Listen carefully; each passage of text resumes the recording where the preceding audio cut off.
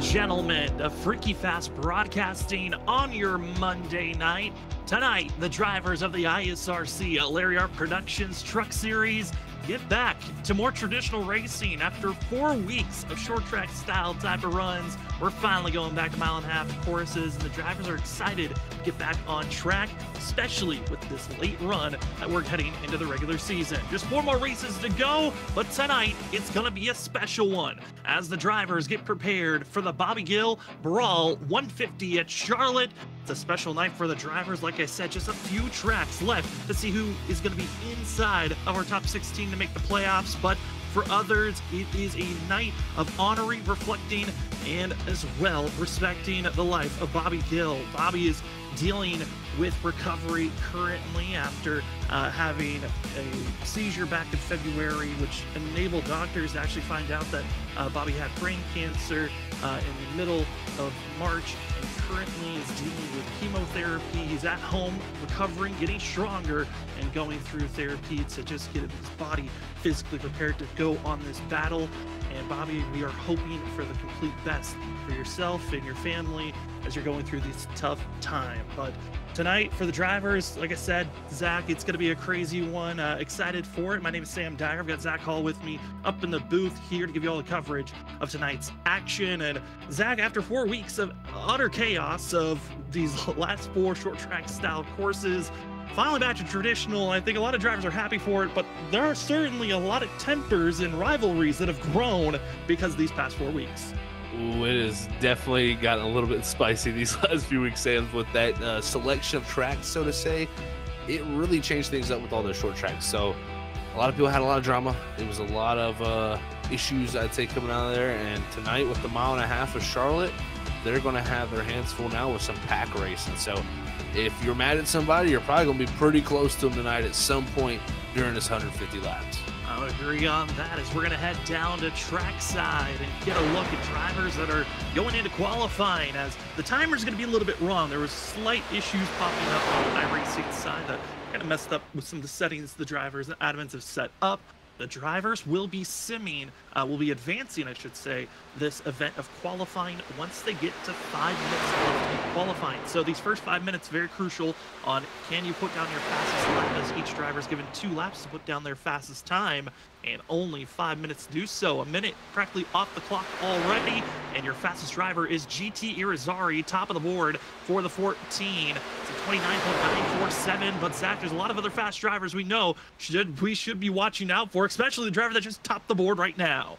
Ali Fonseca for sure, one of the drivers to watch out for. I look back to the last time we were here, it was the likes of him, the driver we have on screen, Nick Crawford and Trenton Jump, doing battle for a championship, even along with Christopher Norris. Those four are really strong in that race, so watch out for them tonight. But as we talked about, Ali, John Forbes going to jump up to the top after his big win last week, coming in with the points lead too.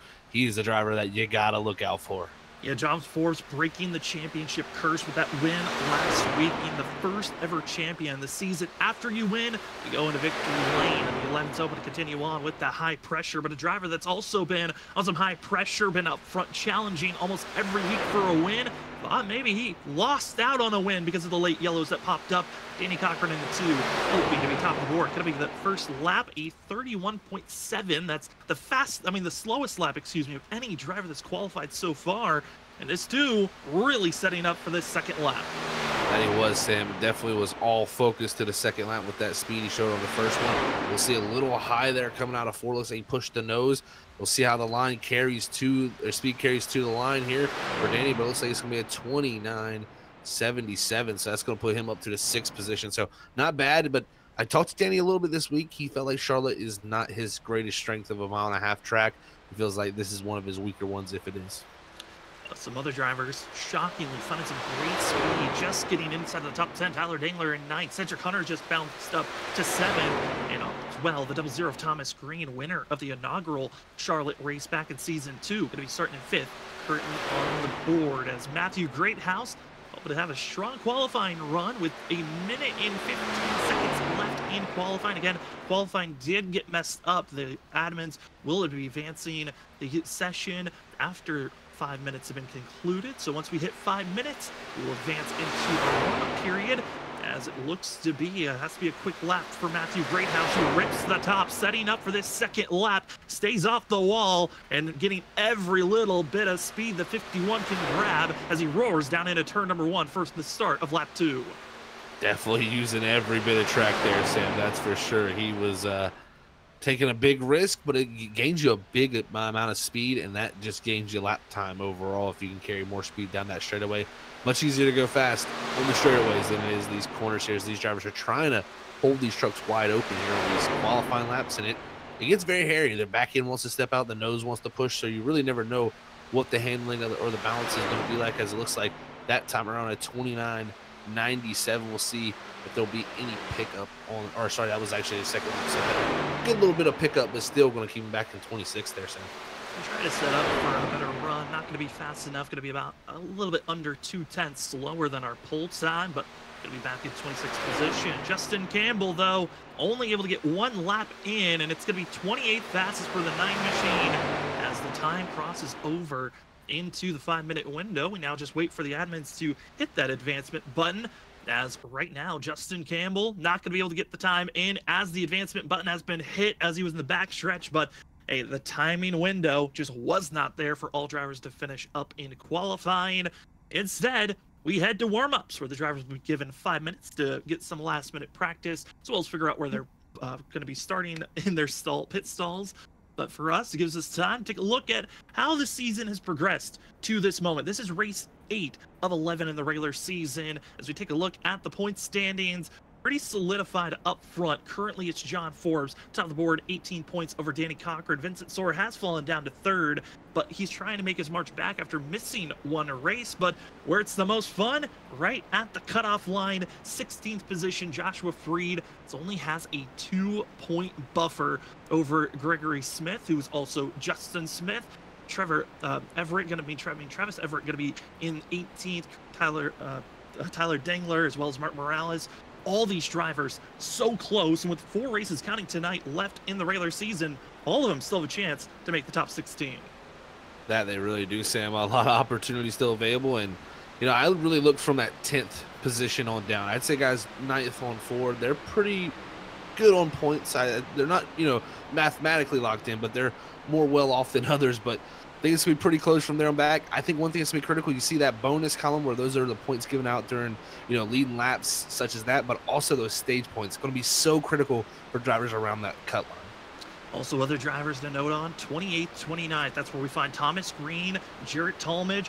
Both showed up late into this season. They are two races behind everyone else. But if they could get inside the top 25 in points and win, they're both automatically into the playoffs. So they're just at that cut line as we've seen Jarrett Talmadge run well at Las Vegas, which is going to be our last race of the season. And Thomas Green won this race back in season two. So both those drivers open for a little bit of luck and past success to carry forward as take a look at what the schedule's been like this season. It's been a, a, fun season overall. Like I said, just came off of our four race stint of short track racing that started off at Phoenix for race five. Then we went to the Milwaukee Mile, went to Gateway, uh, as well as we had Richmond for race four. And you got to see a variety of different winners, but a lot of those winners also kind of built up rivalries and fights with between one another. And I got to say, Zach, I think the most fun here is the fact that we've seen, you know, yes, there's two to three drivers that are the odds-on favorites every time we look at win columns wise, but a variety of different winners that we've seen throughout the past couple of seasons it definitely is a huge variety of uh, different winners that have come through. And you know, the one thing I think that's going to be cool too is first mile and a half here tonight at Charlotte. We got another one to close out the regular season there at Las Vegas. Then once we get into the playoffs, you're going to have a good wealth of mile and a half. So tonight in Las Vegas, those two races could be a big telltale sign of what we can see when we do get to those playoffs where it gets down to crunch time. as that will be our schedule for these drivers. Less than two minutes left in warm-ups, and if you've been watching these last couple of weeks, it's time for the pickums. Who's going to be having the picks to get their driver to possibly get a win? We've gotten some success on who we think's going to get into victory lane. Uh, Zach got it the first week. Who's going to get it this week? Well, let's take a look at those pickums. We'll start off with my pick of my driver, who I think has a chance to win this race, has found success in the past. We're going to go with Nick Crawford, the last driver to win this race back in season three. And when that race was around, it was a championship race where Nick Crawford got himself into victory lane. Crunch time, it mattered. Clutch efforts. I think Nick Crawford's got the clutch factor to get the win here and try to go for his third win this season. Love that pick there, Sam, but I'm going to have to take it a different route here tonight. I'm going to go with the number seven of Cedric Hunter had that win get away from him earlier in the season at that Milwaukee Mile. I think he's going to come away tonight here, first mile and a half. Though he, he likes these tracks, I think he'll be one to watch out for, maybe one to win. Not a bad call, especially because he's also thinking about points with the rest of the season, currently tied for 10. And we never know what we're going to find with our producer, Robert Moyer Jr.'s pick. Let's see, see what Robert picked for his decision, and it's Ethan Smith, the winner of this race back in season three, the 99. Hey, I mean, Ethan had his first debut race back last week after being gone for a season and a half. He actually showed some promising speed. Zach, this isn't the worst pick in the world. This 99 could shock us with a win here tonight in his second race of the season. He very well could, Sam. He's uh, shown speed in the past at mile and a half.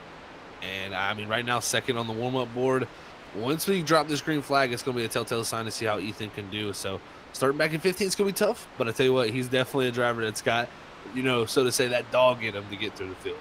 He certainly does as we find ourselves warm up come to the conclusion. Also, right before we go to the grid, I want to say thank you to Larry Art Productions being the title sponsor, as well as Hot Lap Threads being our qualifying grid sponsor, and Morecast for being our stage break winner sponsor. As we get ourselves prepared for tonight's race here at Charlotte. It's going to be a 150 lap stage break at the end of lap 40, zero fast repairs, four sets of tires in pit road. And tonight's a special one. Like I said, for the drivers, they're hoping for some great points days. For others, they're hoping to have a wonderful time watching some great racing action. As the drivers are gridding up, here's your hot lap threads qualifying grid results. Taking the pole award, give it to the 11 machine of John Forbes. Fast driver, hoping to go back to back after winning last week at Gateway. And right beside him, going to be the 24 of Ali Fonseca, the last driver uh, last season, I mean, last time they ran here at this track back in season four, Ollie led the most laps, was in a great position for himself. In third, odds-on favorite, if you look at the way they run at mile half tracks. Vincent Soar going to be in third. Cody Green going to be starting in fourth place, still searching for that win, and he felt like he should have gotten it the last couple of weeks. Thomas Green going to be starting in fifth position in the double zero. Nick Crawford going to be starting in sixth. Danny Cochran starting back in seventh. Cedric Hunter in eighth. Anthony Gaudio in ninth, and finishing at our top 10. Great qualifying time for the 19. That's where we find Tyler Dangler.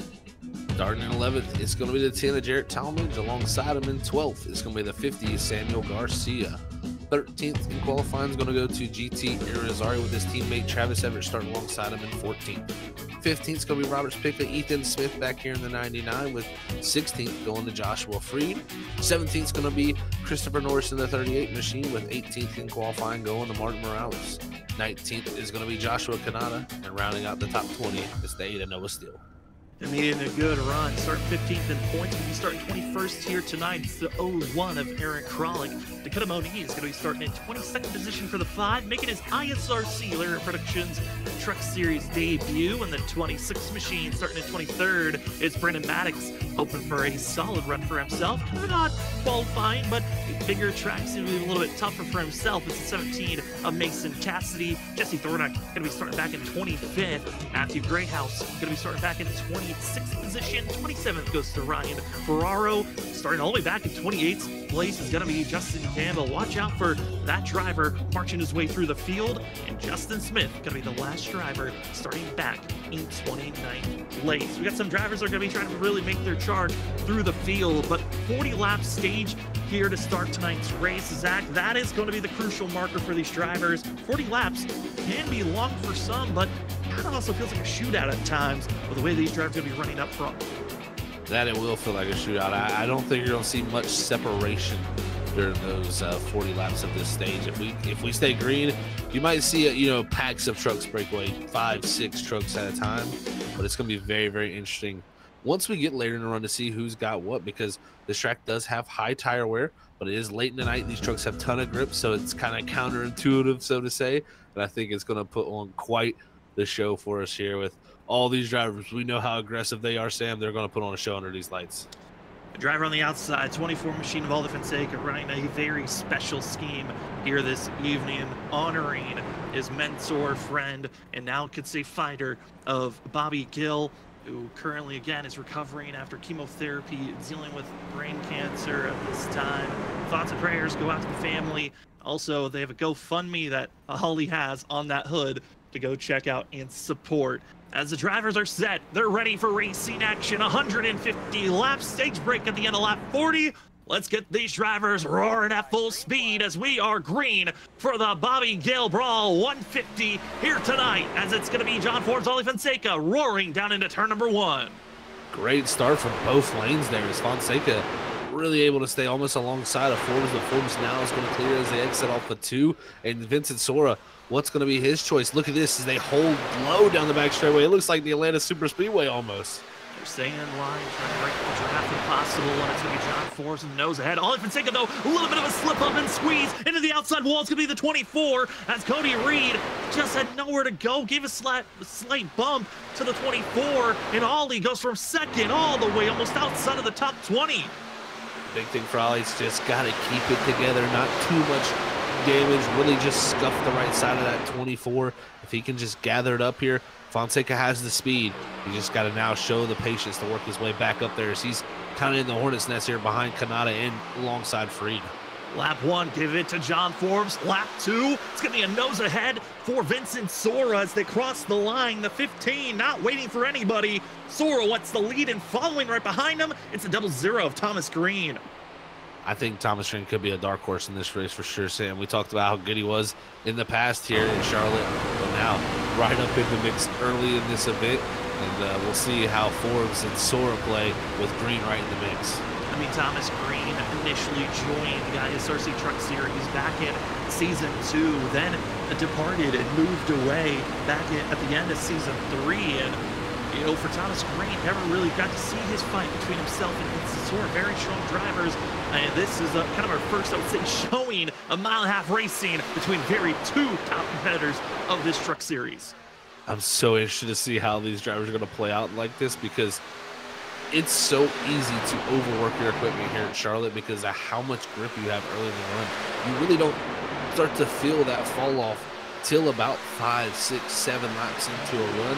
So you're really right now just going off basically basically as much grip as you possibly has. Lucas Forbes is just going to dive to the inside now of Sora and try to make something happen on the bottom. But it's going to be tough here trying to keep those tires underneath you while others behind are just kind of lurking in the background.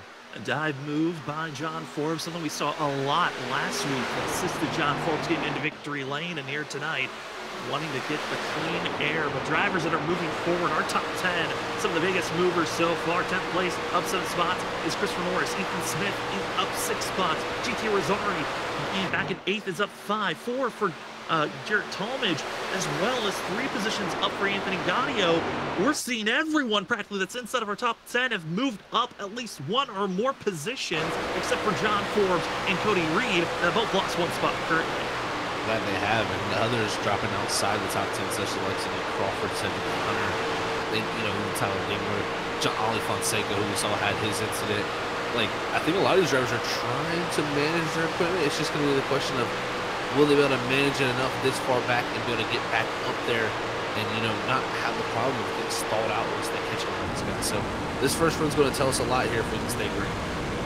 As the battle for the lead continues to stay side by side and talking about the quality of drivers that we have between Vincent Sora and John Forbes. Well, the two of them are being so aggressive up front. It's making me a little bit more nervous, though, Zach. The side drafting and the almost pinching aspect that we're seeing from our top two, we're almost seeing contact every single time through the center of these corners. And you got to be careful. No net code's a factor that you got to watch out for, as that's the internet's random contact that can sometimes happen here in iRacing, but also just making contact in general. These drivers have to be careful between one another.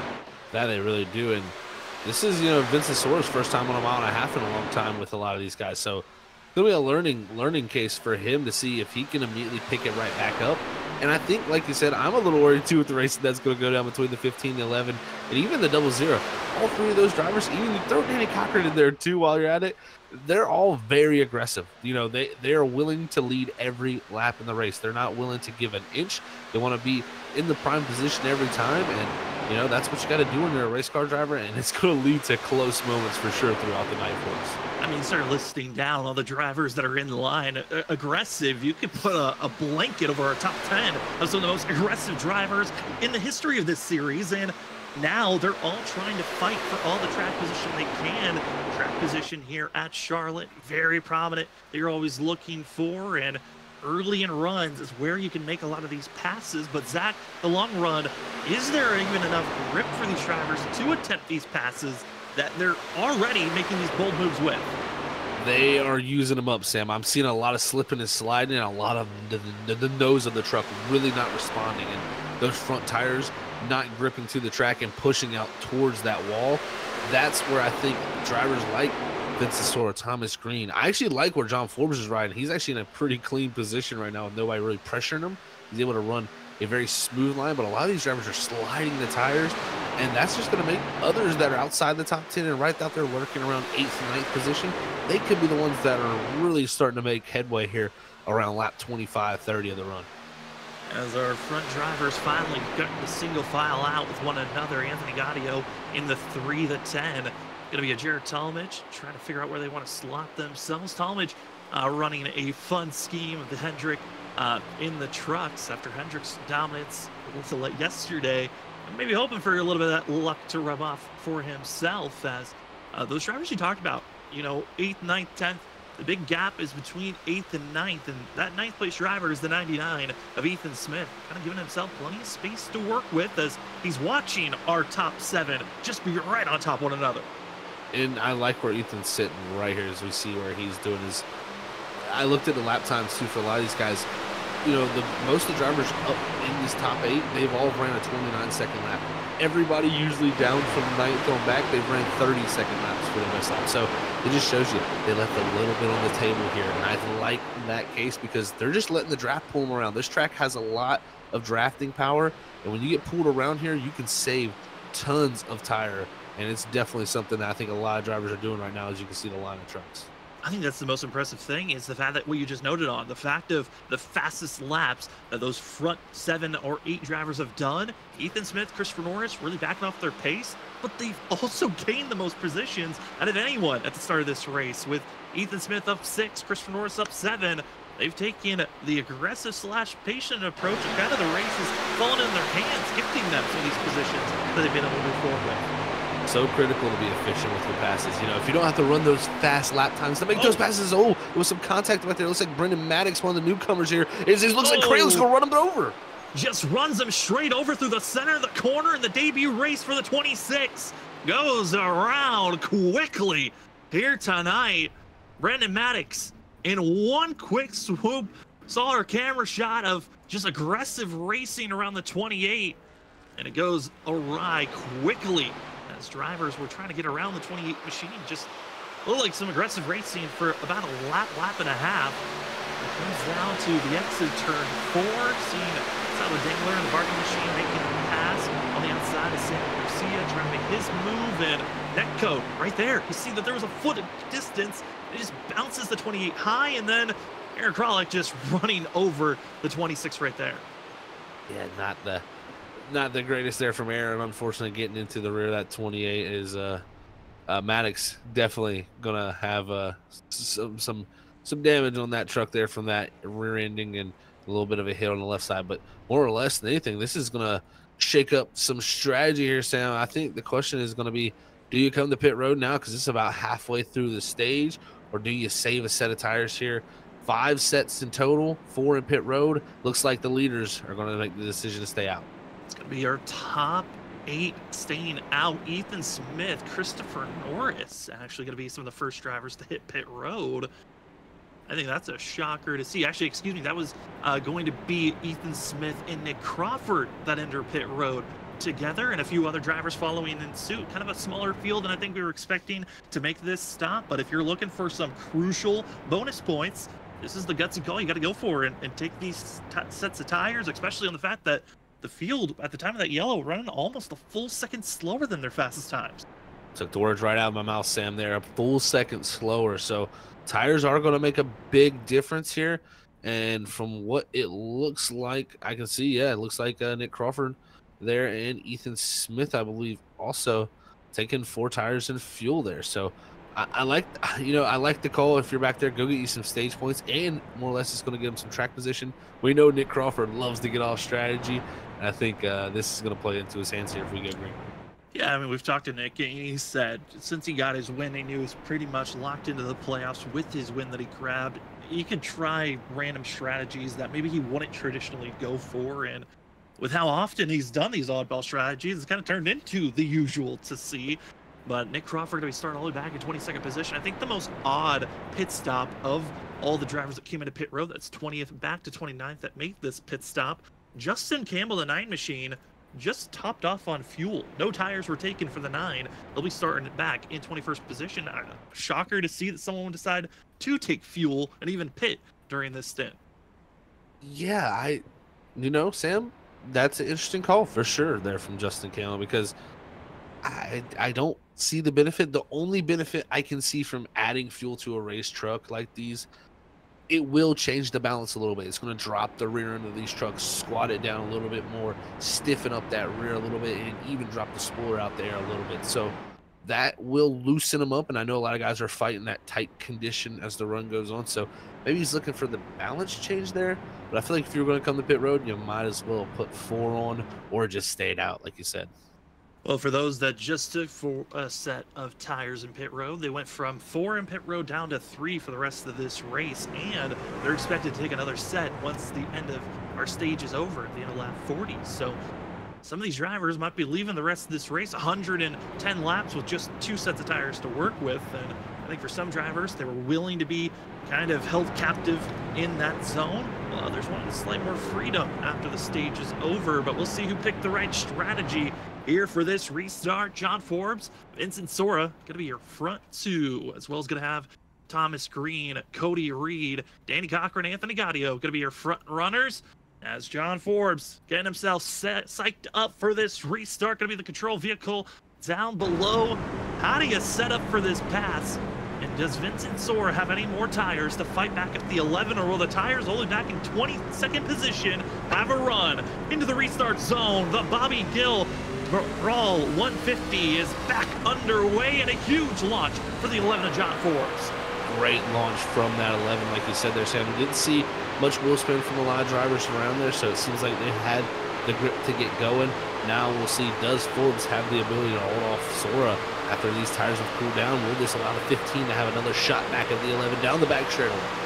Now the turn number three, and as you can see the John Forbes shots, trying to look at his mirror, see the action behind him. Where will Vincent Sora try to lie in a wake? They currently are going to be doing almost some bump drafting on the straightaway with how close the 15 is down into turn number one. Forbes holds steady, Sora nowhere to go as one driver, though, off the exit turn four. Issues for the 34, Ryan Ferraro. Heavy damage, Sam. He had some contact in the middle of the or, or second part of that front tri-oval and just slammed the pit wall exit. And that truck is done for. He is going to have to limp it back to pit road as he's going to have that required damage flag for major damage as we'll get to see what exactly happened to Ryan Ferraro as he's actually going to stop him. I'm sure we'll tell him. Ryan Ferraro, one of the drivers that took a set of tires, goes to see to the outside, 74, putting pressure on Nick Crawford. 34 machine Ferraro holding steady, but then a little wiggles, looks like maybe loose sensation for the nine, clips the 34, and just clobbers that inside wall. Is Ferraro blown engine?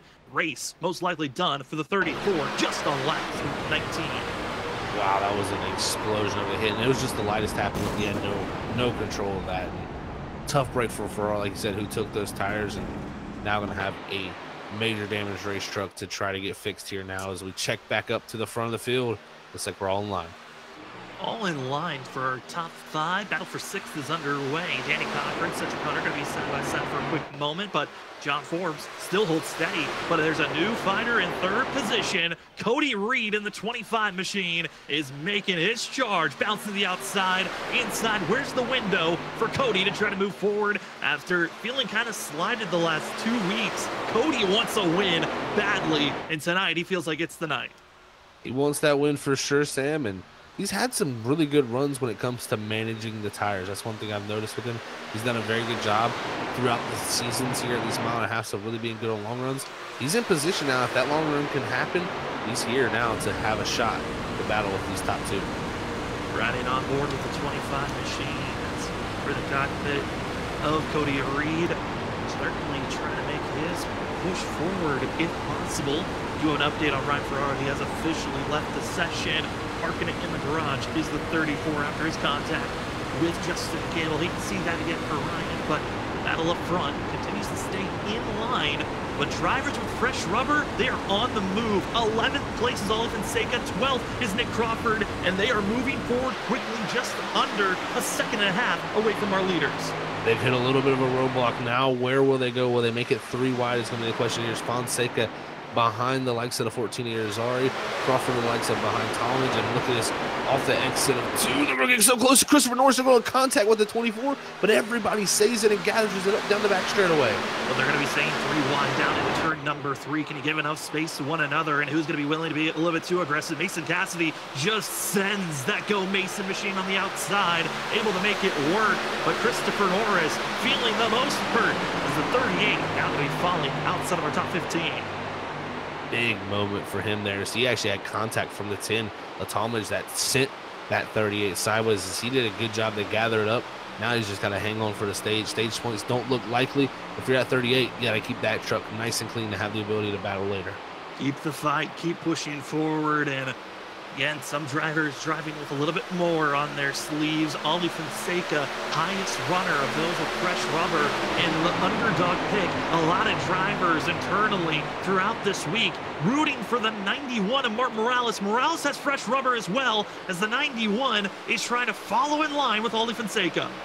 Man, oh man, they are barging their way through now as they're going to be side by side with Tom uh, Green and the likes of Gaudio.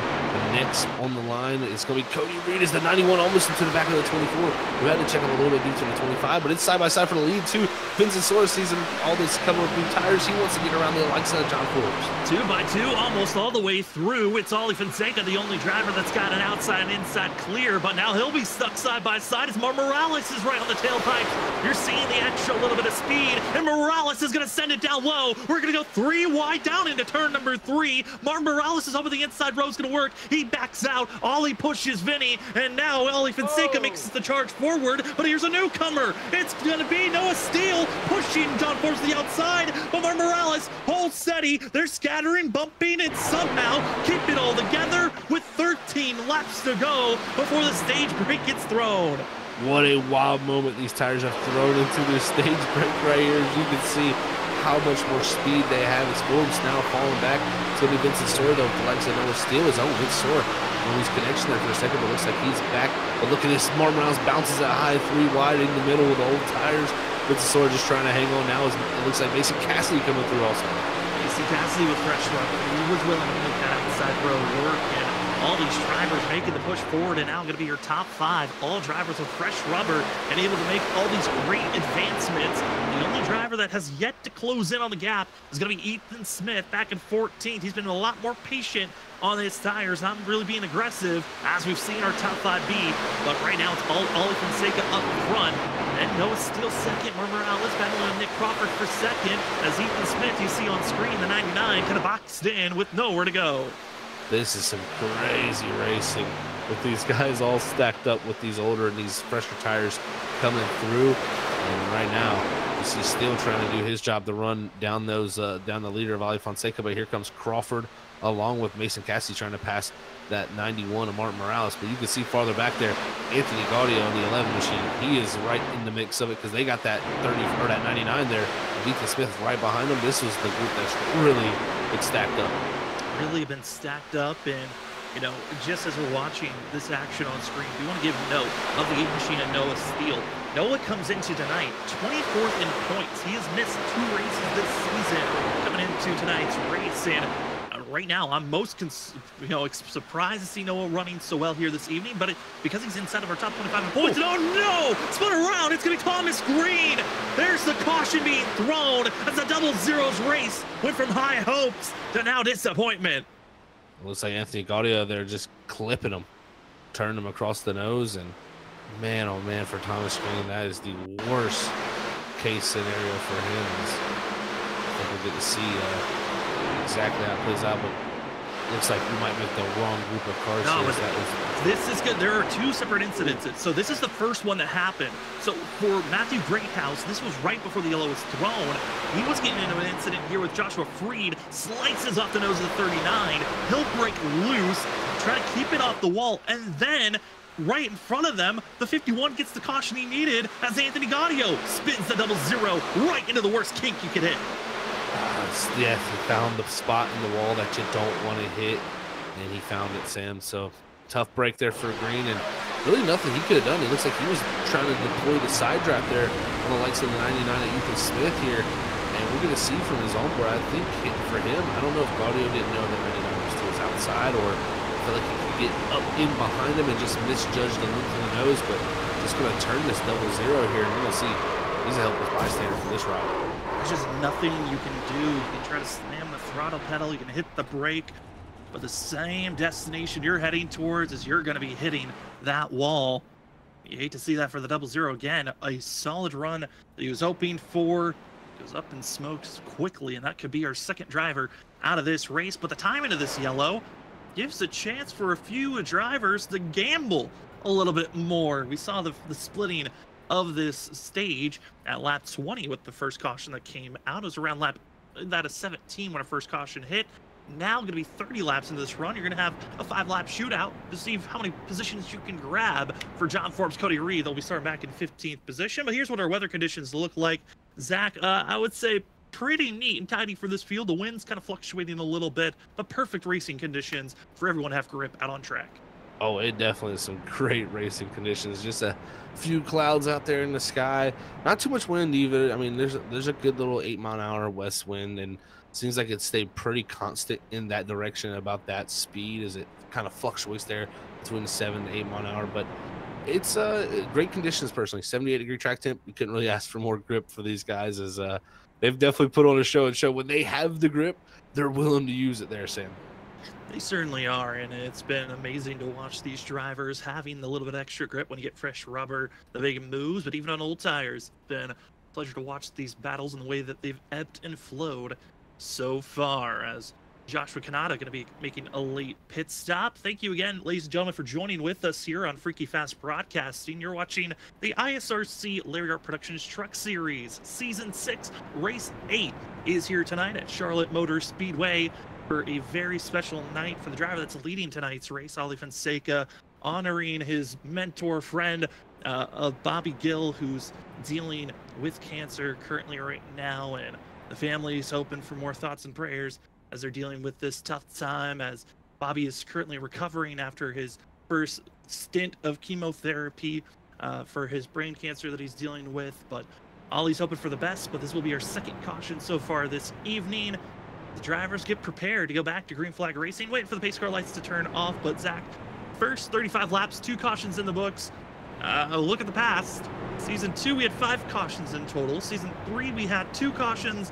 And then back in season four, the last time they ran, we had three. So if they stop having cautions until our stage break, they would be keeping to the trend that we've had the last two seasons. Otherwise, season two trends look a little bit more autonomous uh, on the outside for these drivers on how they're going to be dealing with this uh, race for the rest of the night it definitely is going to be uh, interesting to see if it stays on track there or uh, you know we get a little bit out of whack and out of trend for sure. So we'll see how it all shakes out but i think this this restart is going to be uh pr- pretty interesting to see because you got guys who've done a little bit of strategy like you said who decided to come down get tires. I think they're going to look to go slow here though on this restart save a little bit of tire and stay out at that lap 40 stage break because fuel, you're not going to be able to make a one stop happen. Everybody's going to have to make at least two stops after the stage break if it goes green. I think you're going to see uh, definitely some interesting strategy with a few guys staying out here after the stage break. How do the drivers set up for this run? Again, tonight honoring Bobby Gill. He's on his recovery. Tonight's read is the Bobby Gill Brawl 150. Uh, Bobby Gill, a prominent race car driver back in the uh, 90s and early 2000s for himself. Uh, Bobby's career, looking back, he actually raced in the NASCAR Craftsman Truck Series in 1996 and 2000, had a total of 16 starts. But a lot of his dominance actually came in the way of short track racing in the USAR Hooters Pro Cup Championship, where he won three straight from 99, 2000, and 2001, and as well got a sport championship in 2007. Also, a two time winner of the Snowball Derby back in 1993 and 97, and an All American 400 winner in 1994. Again, tonight is honoring for Bobby Gill as again tonight is honoring Bobby as he's recovering after dealing with chemotherapy and hoping to see Bobby uh, find a miracle for himself and his family. But up front, it's the driver that's honoring him, the driver that sponsored this race. It's Ollie Fonseca up front, hoping to maximize on his stage points as we're back to green flag racing. The 24 pulls away and hopes he's at a big enough gap to hold back Steele, Crawford, and the rest of the field that just got fresh rubber back in 15th place. Ollie was definitely the driver that didn't want to see that yellow come out for this beginning of the stage break because here comes the run. Big run from the 74 because the 15 of Sora, he's down speed here on this restart with these tires cooling down massive speed from 15, a little bit of a scare deeper in the field for ease. But if we get a caution at any moment before the end of lap 40, that will also count as our stage break as driver get mixy for third position. It's Mason Cassidy, Vincent Sora side by side. Mark Morales is also in the mix, and there's the 99 of Ethan Smith trying to work that outside groove. But a driver that we have not talked about because he started all the way back practically in last, the 9 machine of Justin Campbell. He has just took fuel and somehow is in our top 10. That's super impressive for him to be up inside the top 10. That fuel definitely maybe helping the balance of that race truck. But right now, Fonseca holding on, but it's Vincent Sora and the other likes of drivers such as Hunter right in the middle of this pack with Pralin, the 13 of Everett, the 3 of Gaudio, other drivers who took tires on this last stop. Drive that took the, who's the highest of the freshest of rubber out on track Sean Forbes 10 machine. He's going to be on the inside. First driver going to be three wide. Currently battling for 10th place, trying to move up to 8th. Impossible as they're going to be staying three wide right in front of this group. It's going to be seeing Ethan Smith hold steady, but it's Danny Cochran stuck in the sucker hole. He's going backwards in the middle, looking like a Christmas tree as they're one, two, three wide going through as the field 40 is here. End of this lap will be the stage breaker. Will we get a caution before then as Ollie Fonseca is keeping the lead? Nick Crawford, Mason Cassidy, they're closing in on what spot they could be at, but the battle for the 10th place spot, the last bonus point, it's on Zach. They're all on top of one another. This is some straight up plate racing right here, folks. You can see the different styles and strategies. It's all stacking this group up, and there's nowhere to go. If you ever been in a traffic jam, well, this is pretty much LA for you. There is the flag for the stage.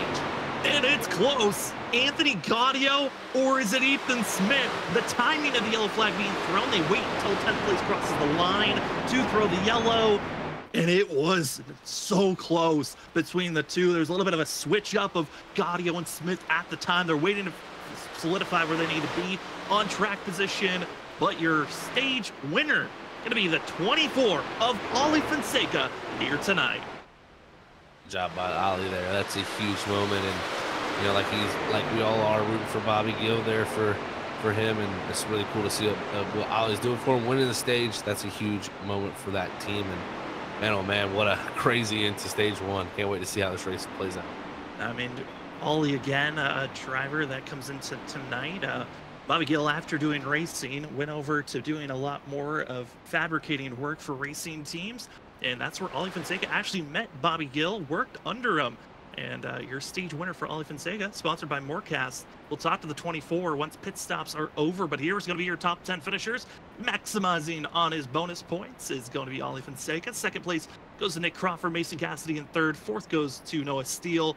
Mark Morales fifth. Sixth goes to John Forbes. Vincent Sora seventh. Eighth is going to be Jarrett Talmadge. Ninth goes to Justin Campbell. And Anthony Gaudio was able to sneak ahead at the timing of that yellow flag. As the drivers enter pit road, who stays out, who pulls in, because there's still a major swappage of different strategies out there on track, Zach. That there really is. This is uh this is gonna shake things up, folks. This looks like Gaudio, I believe Cody Reed, Aaron Kralick, the likes of Christopher Norris, and a few others to stay out here along uh, Samuel Garcia, I believe the other one, along with Jarrett Talmadge and John Forbes. Driver, those were all drivers that actually pitted under our last caution, decided to come into pit road.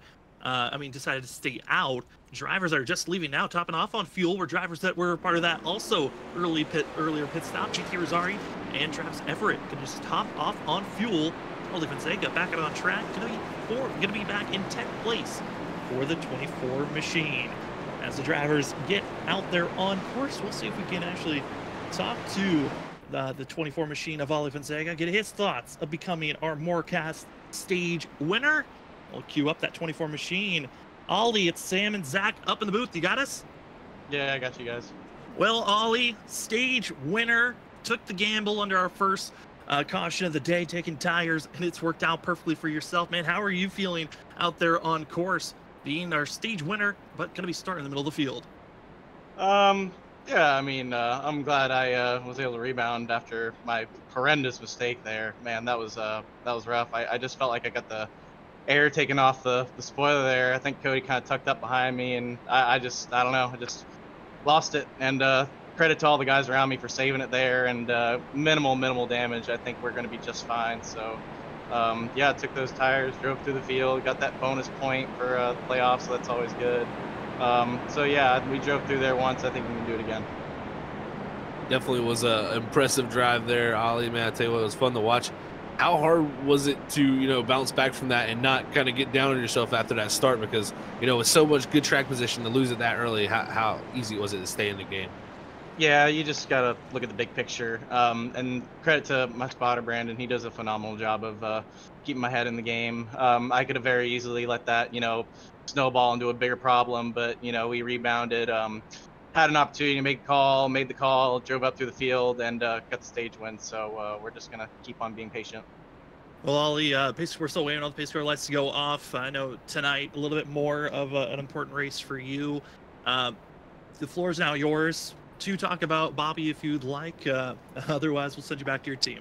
Yeah, absolutely. Um, first of all, thank you guys so much for allowing me to do this um, for Bob. Um, I owe Bob so much. Um, he's done so much for my career. Um, he's taught me everything I know about fabrication and, and really uh, being able to work in a in a motorsports program, right? Um, and he's just such a legend of the sport. Um, so yeah, you know, I got the GoFundMe link on the truck. I'm sure it's probably on YouTube or on the broadcaster somewhere, but feel free to donate to him and his family for what they're going through. You know, it's it's just tragic, man. And I just thought it'd be kind of cool to turn what you know is a hobby for me into something that might benefit him, um, someone I really look up to. So I appreciate you guys for letting me do this for him. Well, honestly, congratulations to you again for being the Morecast stage winner. And we hope to be talking to you at the end of the night here, Ollie. Thank you. Well, that'll be the 24 machine of Ollie Fonseca racing for FTB as he goes back to his team. Zach, uh, certainly when you're driving with something a little bit extra on your sleeves, it always feels like you're you're almost uh, always get that little bit extra horsepower when you're out on track. It really does. It's almost like it it almost calms you and makes you a little bit more focused. I feel like it's it's a weird thing. I think it's a human instinct when you know we have those emotions and feelings going through our mind that we, we just get into a, a, more locked in zone. And I think uh, you've seen that from Ollie here tonight. It was definitely locked in to get back up there. Played the amazing strategy also. So that I think that's going to be a huge thing for him because now he's going to be able to restart with some of the freshest tires and be right here with some good track position. Going to be posting in the chat again. Ollie talked about the GoFundMe link that you can go check out in the chat. Is also the GoFundMe link if you'd like to check out more about Bobby Gill's story and the way that he's trying to recover for himself as his wife made the GoFundMe to support family medical expenses. But tonight's race, Bobby Gill, Brawl 150 Well, the sprawling for the stage is over, but again, different strategies are still on the line. Old tires for our top seven. Can they hold off the rest of the field that just got some fresh rubber? Here we go as we're back to green flag racing for the Bobby Gill Brawl 150 here at Charlotte as we run on board with Christopher Norris starting in fifth. Great start here from Norris as he's going to be all over the door of Anthony Gaudio. We're going to get to see how can he hook it up. This first couple laps, very loose on cold tires, and Norris playing that strategy has got himself some track position after some early woes. Early woes, great times for himself. Of drivers deeper in the field out some big slip ups a keep it straight as Norris keeps his foot in the throttle trying to get by Anthony Gaudio and be a strong run for the 38 machine and up front they're even getting closer in battling with one another John Forbes, Jarrett Talmadge, Cody Reed those three drivers all wanting to continue with some strong runs, but it's Jarrett Talmadge, I would say, with the driver that needs the most of it as Nick Crawford ships it three wide deeper in the field. Big moves being made. I see Vincent Sora sent it three wide. Nick Crawford did it. It's go time. They know they have to get up there because the likes of John Forbes up there, that's not a good sign for a lot of these guys because they know it's not that big of a tire wear difference probably now between that front group and you, and you got to make up time through traffic also. Looking at the laps, uh, I believe it's around eight green flag lap difference between those that are up front to the shot that we're seeing a drivers trying to make their way forward. First driver on the freshest set of tires is going to be the 15 of Vincent Sora, just moving up to sixth position. Next driver to watch out for, Ollie Fonseca on the 24, who's kind of been trapped and stuck. No one really found himself in place to go forward. Driver that seems to be wanting to make all the moves, 74 of Nick Crawford, but fastest lap, you see the purple. Vincent Sora is grooving right now, just putting down the fastest lap of the night. He is pushing Sam. I tell you what, I, I watched him there for a moment. He is not wasting any time. I think a lot of the drivers in the group behind him that we just saw kind of saving their stuff. But you can see Vince. He's just using the fresher tires he has to him. And I, I'm starting to think that maybe these old tires out front are going to be a big detriment for these guys because it seems like the 15 just has so much more grip has more grip, but is he overcooking those tires? As Cody Reed's going to bounce to the outside lane. Reed's trying to get himself that clean air to work with, as now the teammates from Snow Desert Racing going to be stacked side by side. John Forbes, Reed, and Cody Reed and John Forbes. They've they've both been trying to get into victory lane all throughout this season. Maybe Daytona was the run as coming off of four, they were in line taking the white flag, but ultimately didn't work out there. John Forbes finally grasped his first win of the season last week at Gateway, where Cody Reed really thought that was going to be his race to grab. And here tonight, the 24 continues to try to, I mean, 25, excuse me, tries to make his way forward, but looming now in third, it's Vincent Sora in the 15. Here he goes already to the inside of John Forbes here, and I'm questioning Sam if he is burning those tires up. He's going so fast compared to the likes of Fonseca, others who are all in that same set of tires. We could see Sora maybe struggle for that longer run here, and but you never know. Also, with the way this race is, if it stays green, you may want to stop every 35 laps. So we might not get that long of runs. So you got to go out there and probably use up the tire while you have it. Again tonight, supporting for Bobby Gill, who's dealing with his chemo treatment, As driver's going to be three wide for the lead, but just pinning in the chat is the GoFundMe link if you'd like to go support. As Cody Reed to be on the inside leading that lap. That's a great bonus point for the 25 machine. But Vincent Sora with fresh tires going to be stuck in the middle. Reed's got to be careful, and backing off is going to be second and third as the 25 solidifies himself in the lead position. But for how long is John Forbes luckily has the outside lane the better spot. I mean, Zach, we talk about defensive running here late in Charlotte. Forbes is in that spot.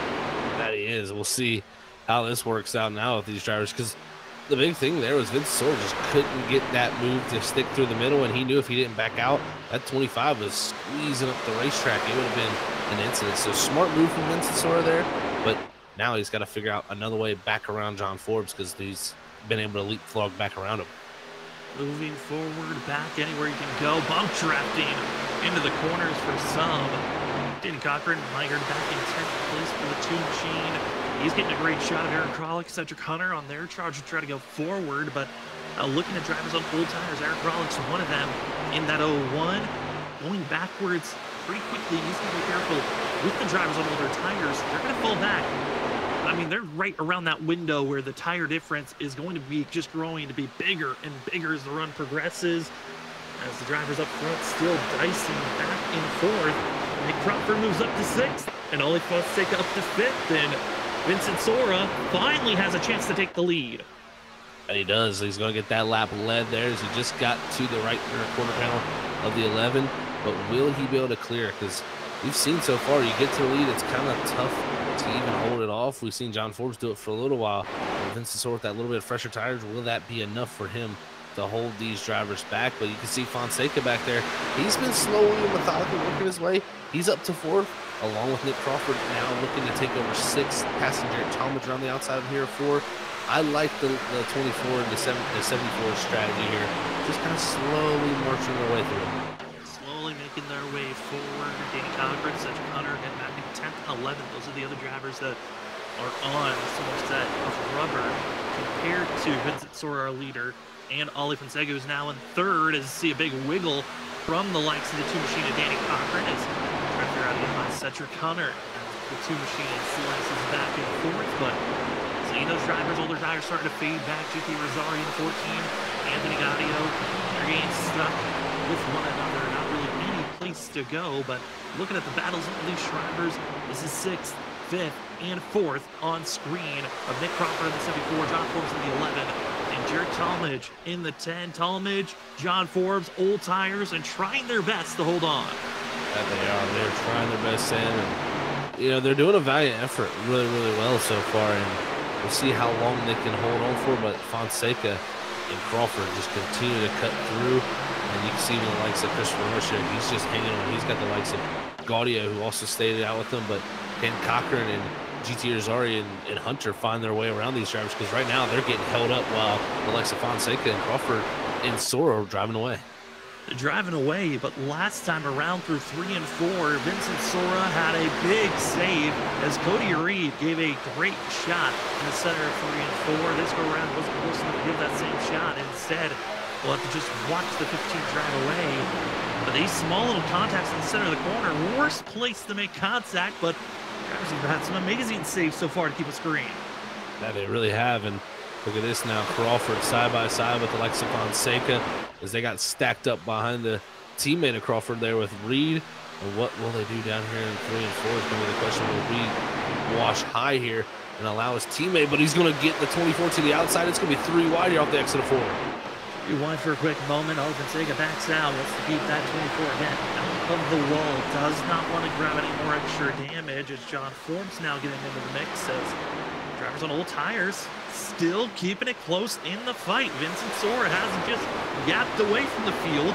Everyone's still in pretty close proximity. They're not, you know, this is kind of giving me shades of Las Vegas, Zach, of how close these drivers are on, on top of one another and not really breaking away this late into a run. Completely agree with you, Sam. This is very similar to that case, and I don't see it happening at all tonight. I think you see right here Crawford and Fonseca, they get up the second and third they're going to be quickly right on the back bumper of this 15 up front. You just can't get away from each other. You don't have enough power. The arrow is too strong. It breaks such a big hole in the in the air that it really allows you to pull up to somebody. As these drivers continue to stay in line, drivers continue to just stay packed up, and as they're this packed, it's sights and sounds of what it's like for these drivers. A little bit of a crank it up to hear what these trucks are roaring like. I know the middle of the pack is close to one another, but what big moves will you find as we go to our crank it up with the drivers off the exit of turn two?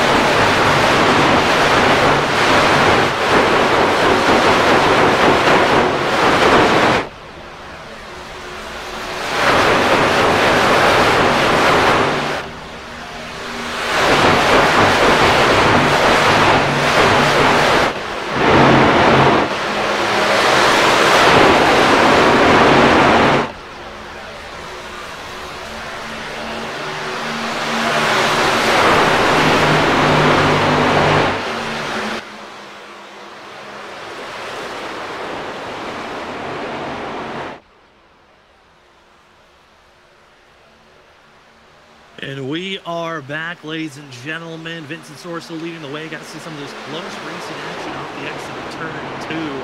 Deeper in the field. See a little bit more wiggles as drivers moving forward.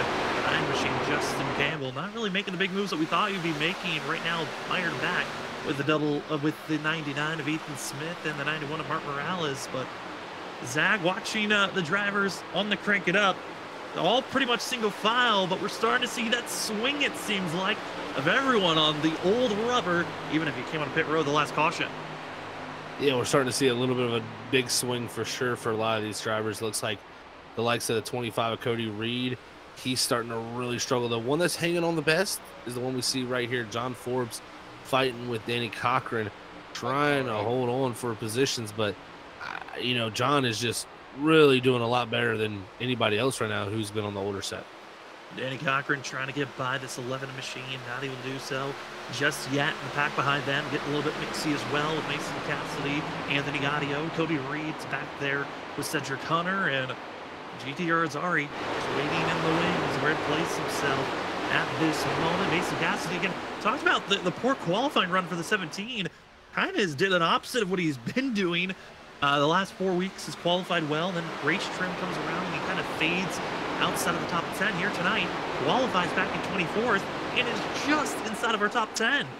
It really is that case for him tonight. As Cassidy is really charged up through and right now racing the likes of GT Irizarry, who very good at this track. GT has been in the past and been very, very good at this style of racing. And so, you know, it's going to be a hard pass, but he does get that done now. Have Anthony Gaudio up there along with the likes of Cody Reed. The driver I've been watching kind of making some lap time gains is that seven of Cedric Hunter. He's now made his way up to seventh. He's got Jarrett Talmadge on his list next. And Talmadge done an excellent job right here, Sam, on the older tires. Him and John Forbes, the best of that group. Yeah, I mean, I think for Jarrett Talmadge, again, a driver that we know has success. His teammate, Thomas Green, won this race back in season two. And Jarrett's been the, the kind of the lucky one of those two drivers in the end of the race where Jarrett's just been trying to hope to inch closer and closer, maybe to a winning position. And just outside of the top 25 coming into tonight's race. And with how well we've seen the 10 run, playoffs, if we can get a win here tonight in the grass of the 10 machine, it could be bouncing out. Those cutoff drivers is waiting for a chance. But for the field right now, single file. But for us here up in the booth, we will take a break when we come back. It's going to be more racing action. Pit stops right around the corner. Who will make the early stop? Or will we see everyone take it until they're out? But you're watching the Bobby Gill Brawl 150 at Charlotte. It's been a pleasure to give you all the coverage here tonight. Thor leads the way. When we come back, pit stops right around the corner.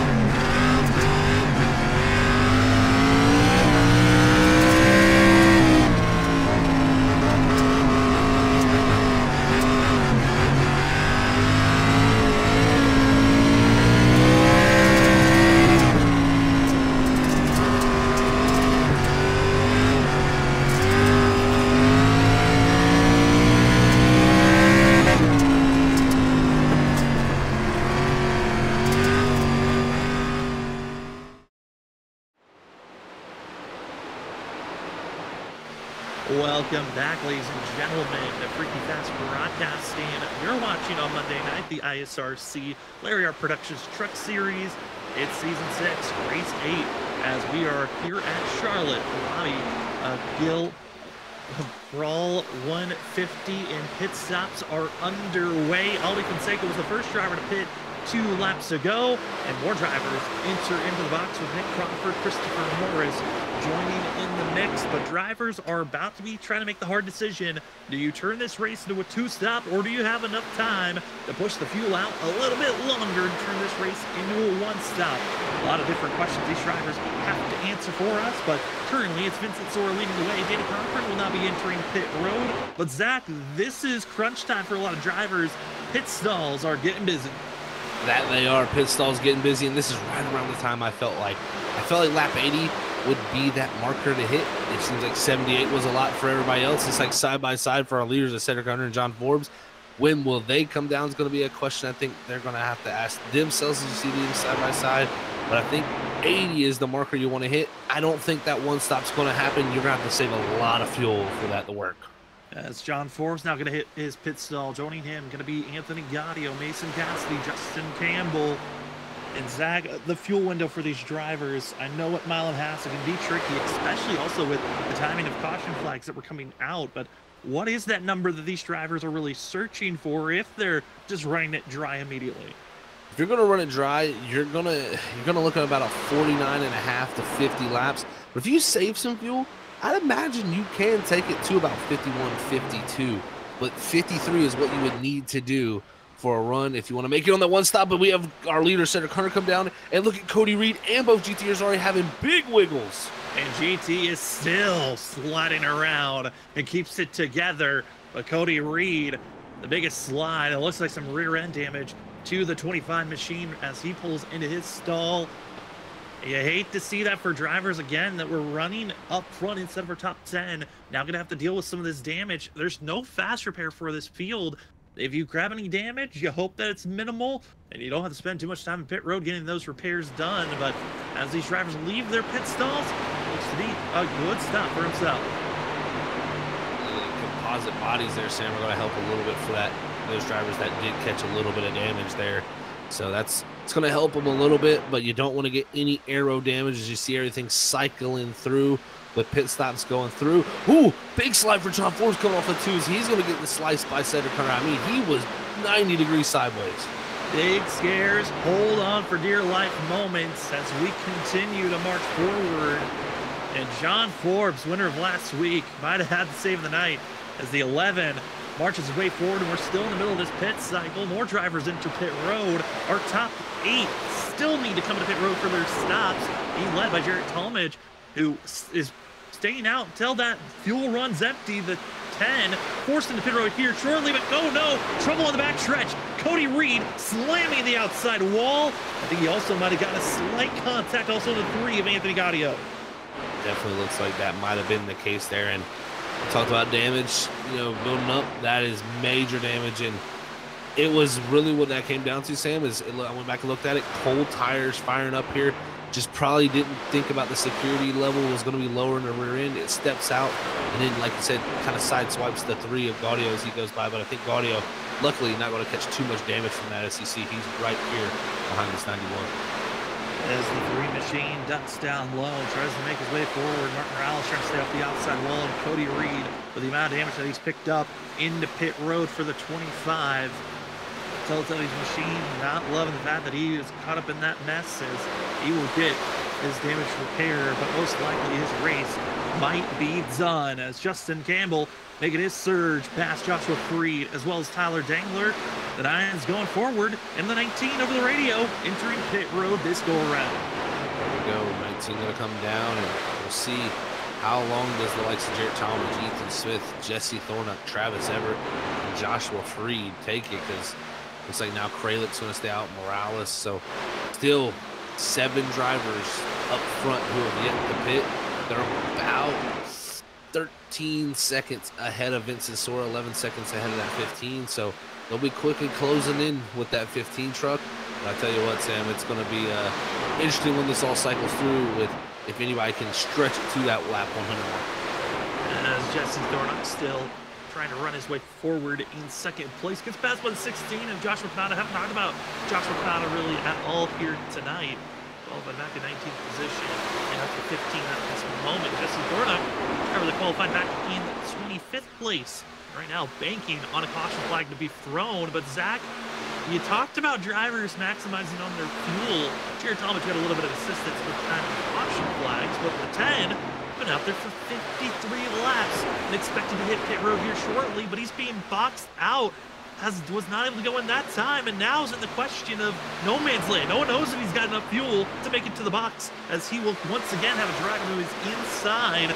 Talmadge is in a scary spot. Does he have the fuel to get to pit road? That is going to be the case. I think I worry about for him coming here, and you can see, look, he immediately drops left here because he's saying, you know what, I have to pit, guys. You cannot go to my inside here. So we're going to see, I think, this 10 for sure come to pit road this time. And it looks like, yeah, coming to pit road. So did a good job to make it that far. Like you said, had the assistance of those yellow flags, but not going to be able to get to that lap 100 mark because he did not stop at that state break. And Jesse Thornton going to be gifted the lead for the 20 machine. Ethan Smith going to be in second. Travis Everett going to be in third place for himself. Still out there on track is Joshua Freedom, fourth and fifth. And Mark Morales. Well, they decide to make their pit stop. Going to be a good question as seeing drivers splitting the gap. forcing the 99 going to be stuck in the middle as Noah Steele makes the pass in the inside. Outside to the GT Irizarry as these drivers taking every little bit of the track to use this good rubber that they have right now. When you got that big of a speed difference, you find the open lane, you go around. That's what these drivers have been implementing tonight. And it's set up for some fantastic racing for us up here. And I'm telling you what, I can't wait to see how this is again is going to shake out because of the likes of Vincent Sora is about 19 seconds back from Jesse Thornton, our leader. So if they were able to make this one stop work, I'm not putting it out of the realm that that is going to be the winning strategy. Well, as we march closer and closer to lap 100, I want to give a shout out to our amazing sponsors here for the ISRC Truck Series. Start things off with the title sponsor of the Truck Series, and Larry Art Productions. Larry Art Productions is a great variety entertainment YouTube channel. If you're looking for some good laughs and entertainment to get you through the day, go to Larry Art Productions on YouTube or on Instagram. Check out Larry's fantastic videos. Also, I want to give a huge shout out to Hot Lap Threads, our qualifying grid sponsor. If you want to get some, help out some of the drivers, as Hot Lap Threads has great, uh, uh, going to be racing apparel for sim drivers, real life racing, everything you're looking for on hotlapthreads.com. Thank you again for Hot Lap Threads being our qualifying grid sponsor and your Morecast stage winning sponsor, Morecast. Morecast is a place to go. Head on over to at Morecast on Instagram for a variety of NASCAR content, including diecast memes and iRacing. Also, check out Morecast on YouTube for diecast reviews, NASCAR discussions, and more as those are going to be your main sponsors here that help out with ISRC Truck Series. Still waiting for drivers to enter pit road, but this is the battle for the lead. These two are going to have to make their pit stop very shortly. But Zach, why not put on a show and waste a little bit of time battling between one another? I tell you what, I like this, and with all the different strategies playing out different speeds, there's a very likely case that we could see a yellow in this sequence. So why not stretch it out? If they get a caution right now, Ethan Smith, Jesse Thornton, Joshua Freed, Martin Morales, it'd be like they won the lottery. I mean, we're talking about late cautions. I think big blemish might come around the fact if you look at the end of last week's race at Gateway, I know uh, a couple of drivers very upset based off their interviews of how the last couple of weeks have finished out. Of it being looking like it's going to be a clean green finish at the end, and then with seven, eight laps to go, a caution flag comes out and just changes everything at the end. And here tonight, drivers might be having that thought looming in the back of their mind of, I want the best position. What if the late caution comes out again here this season? Well, I tell you, they, they're doing a good job of simulating real NASCAR. That's for sure. You, you know, when it's a real NASCAR race, there's always uh, itching to put that yellow flag out at that last moment, and it seems like uh, things just go haywire in iRacing when you get down to those final moments. Just guys trying to get a little too much maybe sometimes, but you gotta understand that that's part of the racing. And look at this, here comes Ethan Smith coming down, and he's well short of the distance that they need to make. Same with Thornock here. We'll see Morales continues. It looks like he'll come down. So I don't think anybody going to be able to take it around 55 laps here tonight. That's just not going to be in the realm.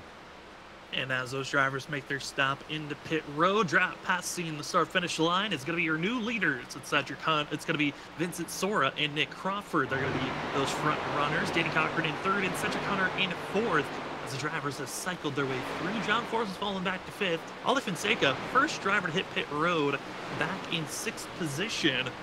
I gotta say, with how early Ollie pitted, this is an excellent spot for himself to be, but again, haven't talked about Joshua Kanata a lot, and I think he prefers that at moments with the way my Counter's curse has been uh, firing off these last couple of weeks. But 16, seventh place, not a bad place to be late into this run.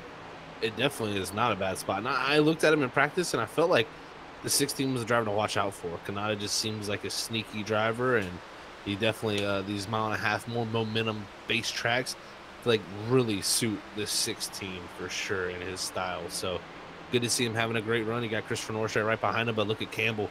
He's trying to come through, and he's on a little bit fresher tires than the likes of these two around him. And Campbell going to make the pass there on Christopher Norris. Makes the pass to move up to eighth place as out how to set up the 24 of Ollie Fonseca to move up into the sixth place position as they continue to race back and forth between the field. We're about to be marching into the final third of tonight's race as we're getting closer to lap 100. Again, thank you so much to everyone that's joining with us here tonight on Freeky Fast Podcast. And we appreciate all of those that have already liked or have subscribed to our YouTube channel. And uh, if you haven't already learned about the clipping tool, if there's a moment in the race that you thought, hey, that's a cool moment that I want to remember, there is a clipping tool. It's your scissors but uh, icon that you can press on that and it allows you to make a clip a minute up to a minute in length of a spot in our broadcast that we also uh, once you make that clip we can go on our end take that clip maybe we can post it on our shorts on youtube shorts or on tiktok so we appreciate all those that have already used the clipping tool but you haven't learned about it yet why not give it a try as Vincent Sora leads the charge. Nick Crawford in second at the moment. And Zach officially 100 laps in the books, but still the longest segment of it all 50 laps to go. Man, oh man, this has been a good battle between these two. And don't count out Danny Cochran. He's only about a second back. You got Cedric Hunter. He's worked his way two seconds with him. He's got John Forbes with him. That top five is still close enough to where we could see lots of change up here, folks. And we still got a long way to go before they pit too. In my, in my opinion, you're probably going to start seeing those pit stops around anywhere 115 all the way to 125. So we'll see when the likes of these drivers do it, but thinking 115 is going to be that money stop. Let's see a couple of drivers march at 110. I think I like that call from you at 115, 120. That is a good window for these drivers. You're gonna have enough time to use as much tire wear as you want without really feeling like you need to conserve.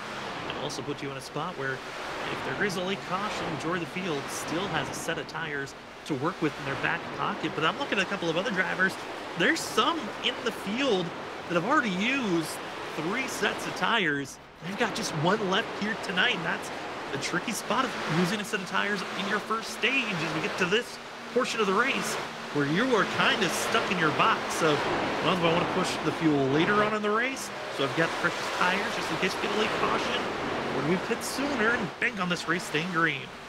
That is always the predicament as we look back at the weather to see how that's all shaping up there in the bottom right of your screen. But I, you know, it, it's going to be very interesting to see how it all shapes up here if you have one set of tires left in your pit stall. You know, that is going to make a lot of drivers worry that are in that position. I believe Nick Crawford is going to be one of those. Justin Campbell, I believe Fonseca sits in that same boat. So they're going to be in uh, some interesting decisions to be made, Sam, because you don't want to take that last set too early because if the caution comes out, you're a sitting duck, folks.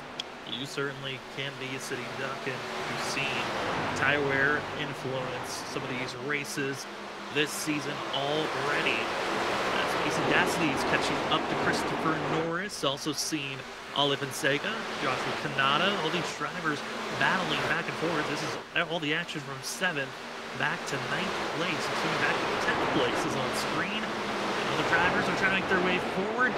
The 10 machine of Jarrett Talmadge back in 13th position, Noah Steele in 12th. These drivers having a great battle between the two of them, but I'd imagine they wish they were a little bit further up on the grid currently. That they do. You know, these two here definitely want to be farther up. And if you're Talmadge, you're going to be pushing so hard here because he stayed out so much longer than anybody. He's got about nine laps on most of these guys when it comes to tires. So he's going to be really charging through in that 10 machine as he gets closer to the 3, the 38, the 17. And really where he's at, he still has a shot and an opportunity, in my opinion, to drive all the way up to 6 with those tires.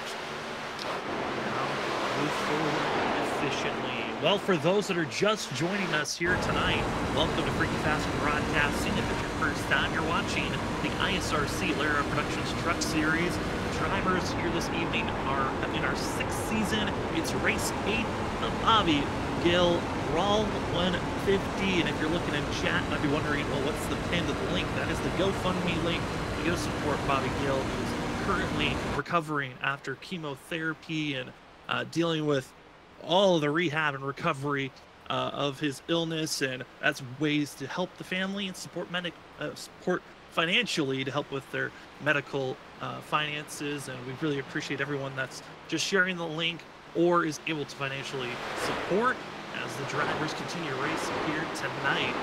It's Vincent Sora leading the charge, Nick Crawford in second. If we take a look at our race report, it was a very climatic start to the race. We've had a total of three cautions all three. Uh, we had two that happened during our stage break, and then our third caution was the stage break yellow.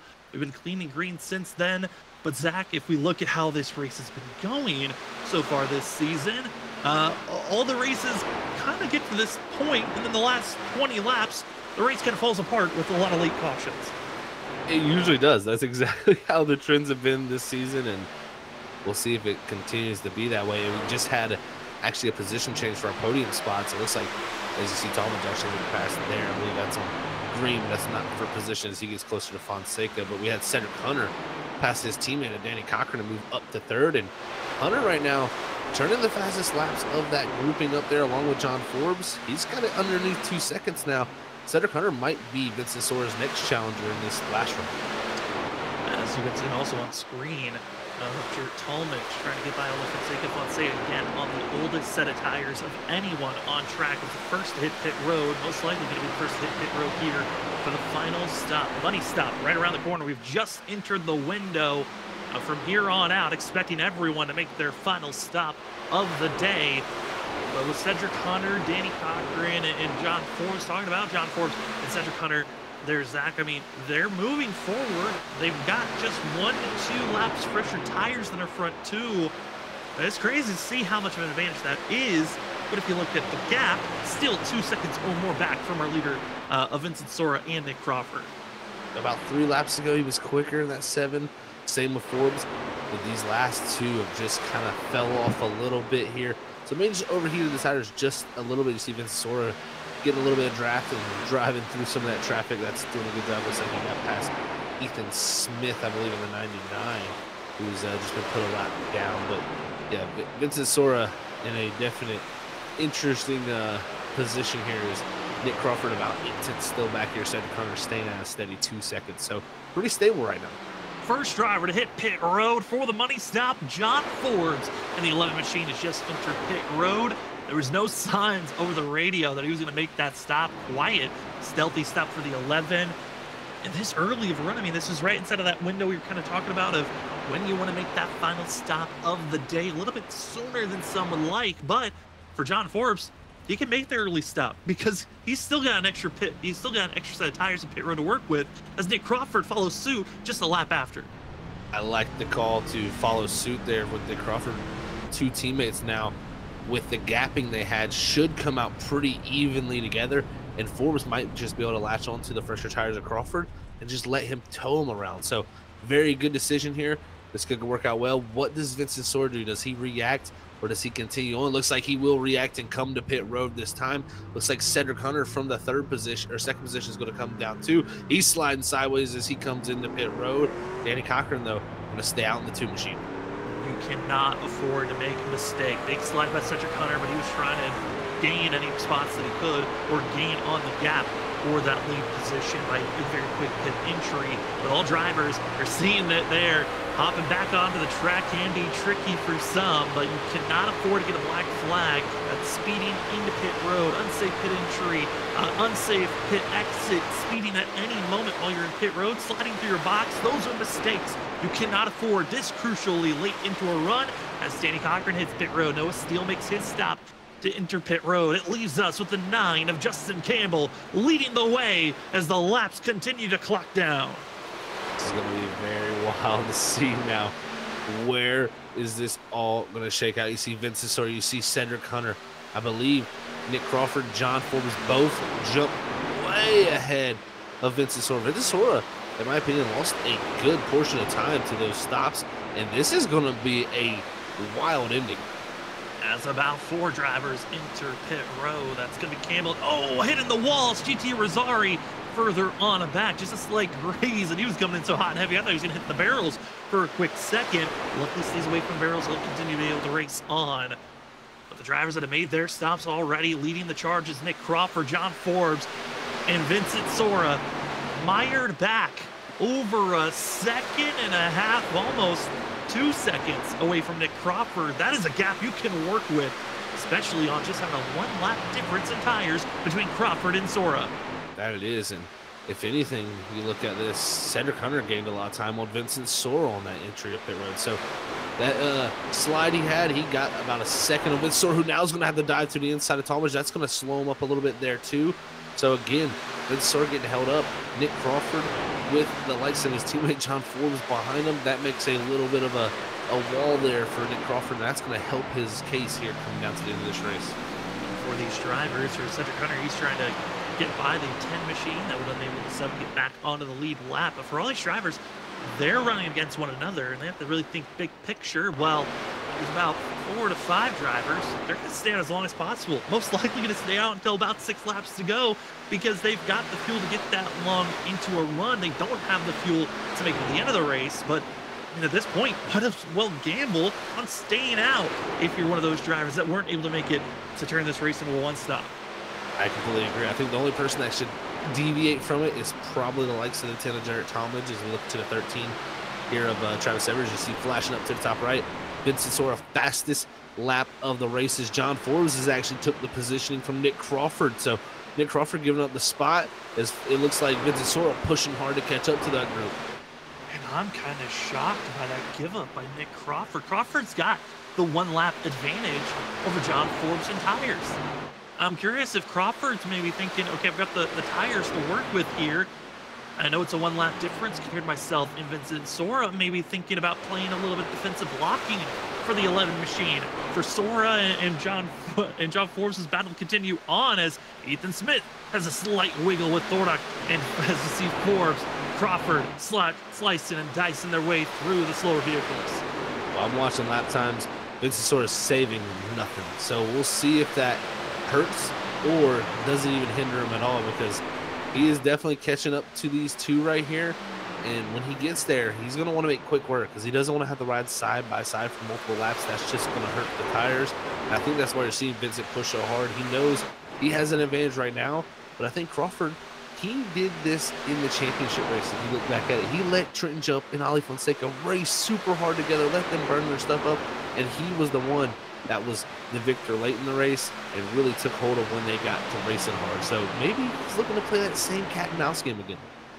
I mean, but how long can you really play that cat and mouse game knowing that Vincent Sora, who looms directly behind you now, is just waiting for one pounce. I mean, he's for Vincent Sora, he still has over 25 laps to work with to try to get past the both of you of the 11 and 74. But if you make a wall, might as well be able to defend. But this feels like a little counterintuitive for both of these drivers staying side by side. It really is. This has slowed them up a ton. This is personally killed their strategy, in my opinion, by being side by side, swapping positions. They they needed to keep the 74 out front with the fresher tires and keep the pace up because now Vincent Sora, he's here. And if they don't have no tire advantage to, to you know, or saved enough here to fight him off, he's going to have easy picking on him. here we go. Pit cycle still hasn't completely cycled all the way through, but this is what we're expecting to be the battle for the win between Nick Crawford, John Forbes, Cedric Hunter as they're closing in on the back bumper of the 26 machine on our ticker, 28 on track. Uh, Brennan Maddox. Maddox will stay high. Lets the what should be the leaders drive on. This is the battle for third on our ticker, but still waiting on Mark Morales and Jarrett Talmadge. They still need to make their final stop. And once again, the teammates are back at it side by side. And I would say, Zach, Vincent Sora has kind of loomed into that position that John Forbes was at back in season four when Crawford won the race as they'll duck down below Mark Morales trying to make the pass for second. And that little bit of a deking move a little bit nerve wracking, but they made it through. Yeah, they did. They made it for that moment, and now Vincent Sora, since he's caught up to him, he's kind of relaxed in this position. He's no longer looked as aggressive with his, you know, his corner speed. I think right now, trying to make sure to have something here late to battle. Doesn't want to go out here and just use everything up. He's now in the draft. He's just going to ride here for a little bit drivers continue to race on. Driving yet to pit still is Jarrett Talmadge. Gonna need to come to pit road here in the next stop. Looking to be about five to ten laps for the 10 machine. Other drivers that also are going to be needing to make a pit stop is Mark Morales back in fifth position. Uh, also going to be Brandon Maddox, who just came to the radio saying the 26 is going to be making his stop. As the battle for second continues to loom, Mark Morales still out on track for another lap, and the 91 can stay out a little bit later than the 10 machine of Talmadge, but the battle for second position is back underway as Vincent Sora, first sign of trying to make a pass for over John Forbes, didn't work, but he'll try the inside this go around into three. Looking to the inside, and we'll see what the grip is. Look at how much speed he carries on entry, but he's got the slide up, and Forbes backed it up enough to where he put it on the quarter panel. And this is what Crawford wants to see. John, do everything you do to play the quarter panel games, pull him back, make him work for it, because if he makes the easy pass on him, it just makes that much easier for him to get around Crawford without having to overwork those tires. The battle between the past champions. You got Nick Crawford, the season four champion, the season five champion of John Forbes, the season one champion of Vincent Sora, putting on a masterclass here at Charlotte of who's going to find themselves in victory lane as you're right on board the 15 of Vincent Sora, just waiting and looming, has the slight tire advantage, but as this run progresses forward, I mean, Zach, at some point, the advantage isn't going to exist anymore exactly right. I, you know, he's got to get something done. I don't. I'm, it's so confusing sometimes because you think these guys are going to go out here and use the advantage of and be able to make the pass quickly, or you know, is he planning something here? We'll just have to see. As you can see, how much speed he carries right to the back bumper. I think he knows when he gets to Forbes, he's got to clear him. He cannot allow Forbes to get back to the quarterback. Not able to make the pass just yet, but continue to show signs the outside move, the inside move, where you want to loom as we're marching 20 laps to go. There's a couple of small battles still going on throughout the field, but it's really this grouping of three as Sora to the quarter panel, down into turn number three, trying to make another slide job move if possible. They're also going to have a slight lap trap in front of them. It's going to be Brandon Maddox, who's on fresher tires, expecting to see that 28 machine kind of pull away from this group of three that dirty air. That's going to be hurting Nick Crawford the most on this charge as the battling between the 11 and the 15. Slight wiggle in the entry. Sora keeps it straight for now as they exit at turn number two. And this old caution's Caution! out. And it's the nine of Justin Campbell involved. And there's that late yellow that everyone thought was going to come out. Oh, man. This one's going to be a little bit of a, a mistake from the nine, I think, here. Just Duff clearing himself onto the nose of the 91 of Morales and little bit of a, a hiccup there, as they would say, in driving and just completely, I think, lost track of the clear call there and put himself headfirst in the wall. Not a great move. That happens to this nine machine. Again, is closing in. A Mark Morales in the 91. Again, Morales was out there on course. The 91 machine was still in a spot where he was on very much very older tires than the rest of the field. As the nine machine closes in on the green, pink, and white machine. Amble's gonna duck it down low, and then Zach, I mean, like you said, just so spinning. After trying to come up, clips himself off the nose of the 91, and Morales was running his own lane. The nine just went over aggressive on the entry of the corner. Yeah, he just tried to open it up too much, man. That's, you know, he was waiting for the clear call. I, he clearly never got it because you know, the contact was made there. But yeah, just a a big mistake there from Campbell, who uh, now major damage on the nose. And again, one of these late yellows. This has set things up. And Nick Crawford now, he's in the bed of he has no tires. Same for Ollie Fonseca. Same for Noah Steele, I believe. Mason Cassidy is the likes of that too. So those drivers, huge loss with that yellow for them. Huge loss for themselves as checking on, on drivers with their pit stops. It's going to be the advantage going to Jarrett Talmadge. Banked on a yellow, got the yellow. The track position for the 10, he will be in fifth place. John Forbes will fall back to sixth. Vincent Sora seventh. Looking at the field, everyone that had tires taking four. No one willing to gamble to take just two as wait for those pace car lights to click off. But like you said, top four drivers, they ran out of sets of tires. They needed the race to stay clean and green. It doesn't. And now the sitting ducks is Nick Crawford, Ollie Fonseca, Noah Steele, Mason Cassidy, as they'll have to watch the roaring drivers behind, ready to take off and just blast by them. That's why the gamble of you know taking those tires in that first stage it's such a risk it is such an advantage as you see what the drivers did with them but it's such a risk now because it puts you in a vulnerable spot like this where if we get yellows in this race and you know the, the fuel strategy works out a different way where you got to pit a two stop strategy you're going to be out of tires if you if you take tires so it is uh put these guys in a tough spot and now they're just going to have to just hang on for dear life so to say there's also a few other drivers deeper in the field that are going to be not having tires to come into pit road to grab. Uh, Tyler Dangler not able to come into pit road to get service done. Aaron Kralik going with the wave around, uh, not going to be able to come into pit road to use his set. But the drivers are taking the wave around, uh, those drivers to look out for. Tyler Dangler, Aaron Kralik, Travis Everett, Joshua Freed, and Samuel Garcia trying to get back onto the lead lap. That will give us 23 drivers on the lead lap for this next run. And like we've seen the last couple of weeks, once again, late caution. Drivers that we thought were our favorites to watch out for, they may not be, may not be the favorites coming to the end of this run here when we get to that white flag and checkered at the end of the night. I tell you what, I think the favorite right now has got to be the driver that's going to be the most aggressive. I think you look at John Forbes again in the 11. I think he's one of the best. Him and Vincent Sora, along with Danny Cochran, those three, the slice and dice through the field, those are going to be the ones I think you got to watch for here late. And it's going to get real, real aggressive here, Sam. Well, if you haven't already, we would love it if you're enjoying the broadcast. Hit that like button. If you haven't subscribed, might as well. We got some great, great racing coverage throughout the week. We cover four different series here on Freeky Fast Broadcasting.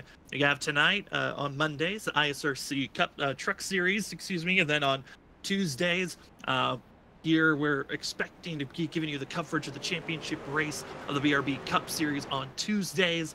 This upcoming Wednesday, championship race. Do not want to miss it. WSSR having their final race of the season. Who will grab the season eight championship trophy? There are still all six drivers mathematically have a chance to win the championship. Then Thursday, we're back after a two week break. It's the Shoney's Doghouse Cup Series back to racing coverage. We're excited to see Thursday night back. Uh, but what a schedule we have for throughout the week here on Freeky Fast Broadcasting. Again, we would love if you would subscribe. And when you do, hit that bell notification so you're notified when, when we are live. Hit the like button. And why not share the broadcast? This may not be our final restart of the night. So, who's going to grab the win? Zach, any final thoughts before we get back to Green Flag Racing? It not being our final restart, you're probably pretty right about that, Sam. We might see some carnage here, but we'll see how the old tires can hang on. I think they will launch through one and two, but I think when we get down to three and four, you're going to start to see those tires really show their age. Top four going to be on those older tires. Nick Crawford, Ollie Fonseca, Noah Steele, Mason Cassidy. Everyone in the third row on back has the fresh rubber that they just put on, expecting to have a massive surge to go forward. Pace car pulls into pit road. It's the Bobby Gill Brawl 150. We're back to green flag action. Crawford gets going. The inside row doesn't really take off as well as they were hoping for. The outside doesn't go at all. They're bumping and shoving down into turn number one, and Crawford's the one driver away. There are going to be three wide into turn number one. John Forbes sends it to the outside row, but off of two, hold your breath. Here we go, Zach. Oh man, Forbes jumps up to the top of Ollie Fonseca. It's gonna be three wide. Vincent Sora there, also along with him. But how can these front three hang on? Because Crawford's running away. But this is not going to last for long. Three wide, and oh, Talmadge gets clipped by Noah Steele. He'll whistle up forward. Cedric Hunter gets sent to the inside grass, holding the break, coming back in front of the field. They'll keep it straight for now. Side by side for second position. Hunter will be go from eighth place, only back to 25th position. Crawford's got the lead. Both Sora with the fresh rubbers up to second. Bali, also Talmadge in the outside wall. There'll be four wide scattering across, down into turn number three. Somehow we keep it all together, but the battle for the lead's underway. Sora Is gone and dusted. Who's going to catch him? John Forbes is too far back. Oh, man, what a launch from John. Oh, no, oh, no. Reckon. Cassidy into the outside wall. Ollie Fonseca, Smith, and others. They continue to pile in. Down into turn number three. Drivers are still clobbering into one another. And the late caution sets us up for a less than 10 laps to go restart. Well, we said uh, it was likely we get another restart. There it comes, folks. As you're going to get to see mayhem pretty much play out here off of turn number four. Is really some of these drivers farther up who got into it, and Tyler Dangler going to later get involved with this group. As you can see, this grouping of cars here coming up into it, but it was all right there at the beginning of the trioval, Sam. Yeah, it was uh looked to be Mason Cassidy getting slotted into the outside wall as the 99 and the 20 clip off the exit of the corner. Cassidy hits the wall, and then they continue to scatter. After that, more drivers start to pile in. Everyone's trying to go down in the grass to avoid the wreck. Smith just continues to beat and bang. And then you see Everett slamming into the rear bumper of seeing uh, Tyler Dangler, as well as I believe that's the 50 of Gonzalez getting clobbered. And it just continues to fall away late in this race. Drivers that were hoping for a caution get involved with the caution. That they did, Sam. Uh, right on board here with Tyler Dangler. See how it looked from his side of the the race truck is uh, he's going to see exactly uh, not much of it happening, but right here he knows, and he's gotten he's gotten slowed down. But like I said, the 13 at Everett runs in the back of him, but 50 of Garcia's running in the back of Everett, so kind of just a stack up there between three trucks. Late incidents is blowing up here as the field's going to be less than 10 laps to go. We got a couple of green flag runs there, and I think for drivers, this is that awkward spot. If you've already entered pit road and if have a set left, do you take a final set here, or do you just stick with the track position that you have right now?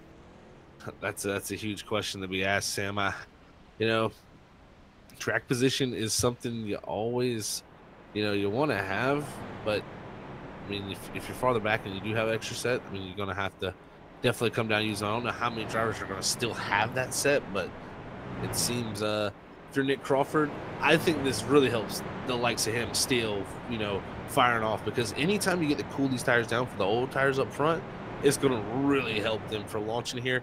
And we're taking green flag laps away. We're taking green flag laps away, and also for Vincent Sora, he's going to have a buffer to work with because he's going to be able to choose the inside row, which is going to be forcing there to be a wall of Nick Crawford, Noah Steele on 20 plus old tires compared to uh, the rest of the field. It's going to be on seven to six lap old tires of green flag racing. So there's going to be a massive difference, which is going to be boxing in John Forbes, Danny Cochran, Christopher Norris, Joshua Kanata, all going to be stuck where they're at. But man, if we look outside of our top seven, look at the grouping of drivers we have there. Eighth place, Martin Morales Jr., Anthony Gaudio in ninth. Ollie Fonseca is back in the mix, but Ollie's on extremely old tires. He's most likely going to fall backwards as well, which leaves GT, or could it be the uh, that of Jarrett Talmadge, who got shuffled all the way to the back, uh, be able to get back into the top 10. It'll be interesting to see who can make their climb back up. I mean, this really helps the likes like Cedric Hunter. You know, he's spun around there in the grass. That's going to help him. He's restarting back in 15th, and it gets him back up here. But, uh, you know, again, we could very well see some more yellow flags here still. This, this is like we said, been a trend here lately. A lot of drivers, we heard them very vocal about it last week in the interviews, and just you know, not a a lot of happy drivers after that one. We could see uh, some interviews like that tonight, or we could see a few guys that talk to that kind of. We're gonna be happy that they got out of here with the finish that they didn't expect, probably. For some elation, others gonna be hoping for a new day. And speaking of, of a new day, we got three more races left in the regular season. Next week, the drivers head to Pocono. The week after, they head to road course racing at Lime Rock Park. Grand Prix going to be April 22nd. Don't want to miss that. Last time those drivers ran there, Vincent Sora took the win, but that was only back in season one. Haven't ran since season one. We'll see if there's any differences in season six. And then finishing off the regular season, the drivers head probably the most chaotic, most drama-filled racetrack besides short tracks, Las Vegas. The last race of the regular season before we set up our 16 drivers that will race in the playoffs. A lot of history in the next three races. But first, we got to get done with tonight. Vincent Sora, Nick Crawford. It's going to be nine laps to go when we go green. But Zach, we get that caution around lap six to go, five to go, or anything less than that. We're heading overtime. That we will be, Sam. And we know what happens when overtime comes out. It is uh, pretty much go, don't lift, is what we've seen a lot of times. And it's turned out, you know, good for some drivers and not turned out well for others. So we'll see how this restart goes here. We got a decent little run here down to the end. Uh, this allows the likes of John Forbes. He really liked this caution because he saw Vincent Sora get past the guys and it was going to be set sail for him. But now he's got a chance to get quickly around his teammate and Noah Steele and have a shot at his 15th start. Driver stack up, getting ready to go. Also, new driver going to be heading to the garage. That's Brendan Maddox, who is calling it a night. Brendan, uh, not the debut race he was hoping for, but he'll get set up and prepared for tomorrow night as he's got BRB Cup Series action for himself to run. As uh, we hope to, to see you next week, Brandon, at Pocono. But up front, Vincent Sora going to be in the freshest tires, old tires. Give it to Nick Crawford and Noah Steele. John Forbes, as well as going to be seeing Christopher Norris, Danny Cochran, Who's going to have the better launch into the restart zone? The Bobby Grill uh, Gill Brawl, Brawl 150 is back underway. Sora's gone. A little bit of shuffling of where you want to go between the rest of the field, but it's all the 15 for now. And oh boy, Steele almost getting up into the 11. Ooh, that was very close there, Sam. That was, I think that was contact there for a moment between Steele and the 11 of Forbes. But you see, Steele and Crawford able to fire off pretty well through down the back straightaway, but I think here in three and four, you're going to start to see those tires start to show their age. Look at John Forbes, the grip of all time going around the top, and I think he's going to have Christopher Norris trying to follow the 38, who's been showing up here late. How did Danny Cochran, Norris, and Steele get through three and four? I'll never know, but they somehow do. Two by two all the way through from second on back. Crawford hoping to just survive. Same is going to be said for Noah Steele and Ollie Fonseca deeper in the field. But up front is Vincent Sora, John Forbes, Christopher Norris, Who's going to have the better run between these drivers? It's two Snowy Desert Racing drivers, two Cochran Store Racing drivers, your top four with only seven laps to go here at Charlotte as they continue to squeeze in closer. Drivers further on back, getting side by side as Crawford continues to fall back. Same for Noah Steele. Fastest lap goes to John Forbes of the whole entire race, and Forbes is right on the back bumper of the 15. This is going to be a brawl, Sam. Uh, the draft is so powerful. The tires are so new. They can almost hold these things wide open. This is going to be pretty much a straight up race here between this top group. If we stay green, it's going to be side by side here quickly. I know we're not at a short track, but we've seen the bumpers already be used here tonight. Hasn't wrecked anyone fully, but it's John Forbes willing to use the outside lane. Going to be trying to get a better, better run and momentum onto the back stretch. Not able to get the run that he was really hoping for. They're still slashing and dashing back in 15th place before the lead. Forbes tries to use even the wall. Sora trying to use the dirty air to hold back the 11, and it's just allowing Christopher Norris and David Cochran to get back into the mix. Five laps to go here tonight. If we get a caution, we're going overtime, and Forbes is willing to use the bumper. Oh, he's definitely willing to use the bumper. We've seen it done before, and Forbes is one of the most aggressive out there. Throw Christopher Norris and Danny Cochran right in the pot, and you never know if you're Joshua Kanata and Martin Morales, you could be sitting in the perfect spot right now. Morales and Kanata licking their lips, wanting to see the chaos of the front runners that have been the favorites for majority of the night. Sora and Forbes, four laps to go, and once again, bumper to bumper into turn number one, and forcing Forbes up into the wall. Sora with a little bit of a late block there, but gonna be would have been a little bit of more of a pinch on the 11. And Forbes once again willing to bump draft into three. Oh man, this is gonna come push, come to shove here down into three and four guys. As Sora is just throwing every single block he can, and Forbes is moving the groove up higher and higher each and every corner. At some point, they're gonna meet the wall. That is giving some shades. Season two, ISRC. Think back to Homestead. It was the front two drivers that wiped each other out. It was the third place runner of that time, uh, Cedric Hunter, that was able to be gifted the win. Christopher Norris and Danny Cochran, they're loving this action up front because the front two most likely are going to wreck each other with three laps to go. Forbes continues to put the bump, but the 11 might wreck himself before he has a chance for the lead.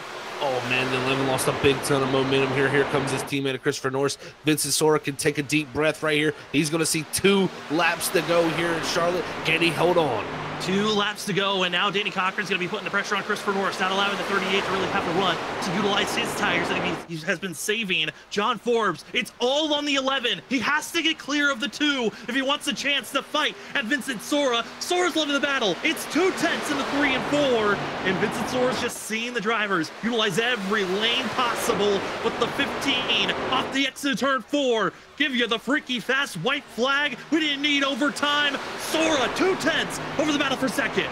Oh man, he fought so hard, Sam. He manipulated the draft here. He's got his teammate at Cochran now making the pass on Forbes. He's just got to have a clean exit off a of two, get into three and four, and he should have this. Danny Cochran playing a little bit of gunner, trying to hold back the 11 of John Forbes. Forbes sends it low for second place, but no one's going to touch the 15. Vincent Sora off the four, giving back the crown of the most wins this season as Mar Morales wrecks behind the 15. Will win here at Charlotte. Oh man, what a battle. That was a brawl, guys. I knew we were going to see the elbows get out, and they definitely were out for that final run. Well, the name of the track was the was the Bobby Gill Brawl 150, and we saw it there. Vincent Sora held off every fight, put the pinch on John Forbes, and Forbes tried everything possible. Just one slip up late in the race was just was too much to recover from. And Danny Cochran, great teamwork racing, holding back the 11 when it was necessary, enabling our season one champ to now get his third win of the season. What a job by Vincent Sora. He's going to burn it down here, like you said, on the front straightaway. And hey, he's winning on every type of track so far. I mean, this is uh, it's looking good for the 15's return, and he's showing he has not left the beat. And really, he was one of the most dominant drivers we've seen, and he's starting to show back up as that driver again. Oh, you talked about the two most aggressive drivers. How were they going to run there at the end? Well, they gave us a show with nine laps to go here tonight. But for us, we're going to step away. When we come back, we'll talk to our top three in a spotlight driver, get their thoughts on this evening's race. We'll be back right after this.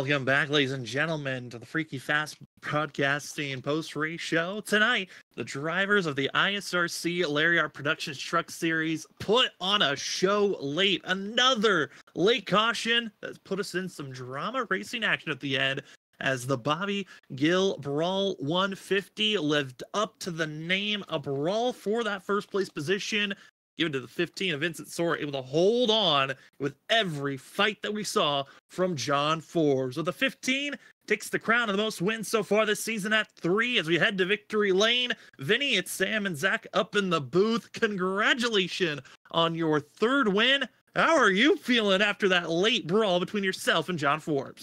Oh, dude, I feel so good. I've had horrendous luck since my last win, which was at Richmond. I feel like every week after then, I've had race winning speed and we get some yellows at the end or something happens and I just get shuffled back and wrecked and just uh, I have nothing to show for the speed that I have. And so far this year, whenever I don't get wrecked or have something unfortunate happen, I win the race. And I feel like I've had race winning, uh, race winning speed every single week. And I finally put one together here tonight. I didn't think after that lousy pit call that we made before the stage that I was going to have any chance of doing anything for the rest of the race because I was going to be mired back in traffic. But yeah, I just drove up through there and I didn't want to lose this one tonight. I was I was hungry for a win and I've just been searching and knocking on the door since Richmond and I really wanted this one and I wasn't going to be denied. That's your Vinny. I tell you what, man, great drive, great win, and you know my biggest question is, you know, those last five, ten laps there, how much driving, how much percentage of driving was out the windshield, how much was in the mirror? Oh, I actually, with about two to go, I ran. I just thought to myself, I was like, dude, I haven't even seen out my windshield for the last like three laps. I was just straight up mirror driving, throwing haymaker blocks. I appreciate racing somebody like John, who I know can always, you know, drive clean and not wreck me for stuff like that. Because honestly, I would probably put the bumper to myself if I was in John's shoes. But he didn't. He had. He probably had the opportunity to, and I knew he would. But yeah, John's a great guy. He races super hard and super clean all the time, and uh, yeah, just throwing those blocks was so fun and so glad to be able to race with somebody and not get wrecked for it. I mean, Vinny, we, we kind of are stepping away from those short track racing that, that we just had for the past four weeks with tonight. You showed how dominant you are at these bigger courses. Uh, what is the confidence level knowing we got three more races left in the regular season before the playoffs are right around the corner? Well, I need points to go get the regular season championship because I, I had to miss a race at Legacy Phoenix. And then, like I said, I just had bad luck since. And tonight was the points that I needed. I wish John could have been maybe a few spots back or not beat me in the stage there. But uh, yeah, the next three races, I think, is Pocono, Lime Rock, and Vegas. And they're statistically great tracks for me, uh, except for the ending of Vegas in season one. But speed wise, I have uh, really good speed there hoping Lime Rock can be a W for me, and Pocono I got it last time, so we'll see. Uh, I didn't put in any practice this week because I was pretty busy. I might practice for the next next few here and see what I can do, and hopefully get some more wins in the regular season trophy. Well, we can't wait to see how well you run there, Vinny. Before we let you go, the floor is now yours for any shout outs. Yeah, first off, John Forbes for racing me super hard. Appreciate you for not wrecking me. Uh, I'm sure I'll see him next week and we'll race just as hard like we do every week. Uh, appreciate you guys for broadcasting, everybody in the league, uh, all my teammates at CSR, Danny Cochran and Cedric Hunter, and everybody at home watching. That'll be your winner here tonight for the Bobby Gill Brawl 150 at Charlotte. Vincent Sora in the 15, his third win of the season. He's got a couple of more he wants to grab for himself. Congratulations, Vinny, on the win, and good luck next week at Pocono. Thanks, boys. Have a good one. You too. As we move from po- from the victory lane, we go over to second place, where we've got the two machine of Danny Cochran. Was able to make the passes there late to get into second position. Danny, a lot of work there in those last couple laps to get from fourth up to second position. How are you feeling though after the kind of wacky race this race turned into there late? Yeah, I mean, I, I was counting on it. Um, it's the exact opposite. It's the same situation, just other side of the coin of what we were dealing with last week. Uh, you know that we can't make it a green run without somebody losing talent. That's a given. And we make it to inside 20 to go, and somebody somewhere just has to go, ugh, and, and junk the thing. Um, played our advantage this time though, where we didn't stop in that in that first run. We had that extra set of tires in the bank that we were able to to use their late, which was uh, really advantageous for us. But I mean, all in all, can't be can't be upset with the P2 tonight. Definitely a great run, Danny. I mean, you know, I talked to you earlier this week. You said Charlotte wasn't, you know, your greatest track. How do you feel like you improved here uh, this time? Because it seems like definitely a pick up the speed for the two. Yeah, um, for sure. We've struggled at Charlotte in the past, or at least I have, uh, especially on longer run pace. I, I felt decent about my long run pace tonight, but I mean it. it still doesn't matter when it just comes down to a lottery at the end there. It certainly does seem like it's coming to a lottery late in these races the last couple of weeks. But uh, Danny, we got three more races left: Pocono, Lime Rock, and then Las Vegas. What's the confidence level, and what are you trying to learn before we go into our playoffs here in just about a month? Yeah, I mean, especially for Lime Rock, you know, just figuring out how to uh, just drive these trucks there. You know, setups have changed a lot since the last time we went to Lime Rock. The trucks have changed a lot since the last time we went to Lime Rock. So I think it's going to be a different race. I still, you know, I expect to be fast at road courses. Uh, I might not be as fast as Vinny or Nick or uh, maybe John, but I think we'll have some decent pace there just because it races really similar to some of the other tracks that we go to. Well, Danny, we can now wait to see how you're going to perform in these next couple of races. But for tonight, the floor is now yours for any shout outs. Yeah, man. Um, Hot Lap Threads, Larry Arts Productions, riding on the trucks every week. Uh, stoked to have them on the podium once again. Vinny, John Norris, that was a really fun battle there toward the end. Had a lot of fun with those guys. John was very patient with the 15. Um, Norris raced me raced me fantastically. It was a lot of fun racing with those guys. Um, outside of that, you guys for broadcasting, the admins for putting this thing on, and all the moms out there rocking two shirts. Well, that will be the two machine of Danny Cochran helping out his teammate. Going to go one two here tonight. Congratulations on your second place finish, Danny, and good luck next week at Pocono. Thanks, guys. As we go from second position, we go down to third. We're going to talk to the driver that was in victory lane last week, broke the championship curse. John, congratulations on a third place finish, but you're so close. What else did you need there to find yourself in a victory lane? Yeah, it was. Uh, I was trying so hard to get that runner on the outside and just get him to not defend it one time, and it, it would have probably worked out for us there. The the clean air was so important, but um, on that one lap, I tapped the wall in it, the corner entry, and he got away just enough. Um, but yeah, it was just a fight for the clean air all night. Um, solid performance. Was able to come away with the top three, so can't complain with that. Um, and retain the points lead. So just a solid overall night for us, and uh, we're gonna carry that momentum on. You know, John, with those late race yellows, we get there with about 20 to go. I mean, how, how do you reset your mind from the battle you were having just with your teammate and Vincent Sora to now you're going to have to restart in a little bit of traffic and try to fight through? Yeah, we definitely had to step up the intensity for that. Um, it was crazy, and we knew it was just because the the four guys out front had no tires, so we knew it. They were going to be just sitting ducks out there. Um, and I think I, I started sixth on that restart, went up to fourth, and then um, Jarrett uh, got loose on the outside, um, got into his bumper. I had nowhere to go. That put us back down to about 10th or 12th, and then came back all the way up to fourth. And then the caution came out with a couple laps to go there. So we got pretty lucky with that. I thought my night was ending a few times on those last 10 laps of that restart. So yeah, just really happy to escape that. Um, but we just we knew it was going to be be crazy from that point on, and it, it seems to always happen. It really does. And John, after last week into this week, the point situation looks to be pretty much equal to where it was coming into the night. Still an 18 point buffer between yourself and Vincent Sora. What are you hoping to gain? I know for Vinny, his goal is to go for the regular season championship, and imagine your goal as well. But what are you searching for in speed for these next three races at Pocono, Lime Rock, and Las Vegas? Yeah, it's just going to be really important to stay consistent because I mean, even though Vincent won tonight, um, I think I got him. He got me, or I got him by one stage point. So just staying right there in contention, um, and of course, like not getting a mistake. I know Vegas is going to be pretty crazy. I think we got that coming up before the end of the uh, the season here. Um, and then Lime Rock again, we were both really close on at Watkins Glen, so it's just gonna be a matter of staying as close as possible. I mean, I'm in the advantage spot right now with an 18 point buffer. Um, so just just trying to keep that, manage that. Um, get another win would be awesome, or win or two would be awesome. um, and just keep him out of victory lane too. Just got to keep the consistency up and uh, just uh, keep finishing a little bit better than him to keep on uh, rolling with the points lead. Sounds like a solid plan. Well, John, before we officially let you go, the floor is now yours for any shout outs. Yeah, I just want to thank JD Performance Mods, um, eFlex Feel, Strike On Designs, and uh, you guys for putting this on. Well, thank you very much, and thank you for giving us a great show to cover, especially here tonight. That was a fun last nine laps. That'll be your third place finisher in the 11 machine, John Forbes. Congratulations, John, and good luck next week at Pocono. Have a good night.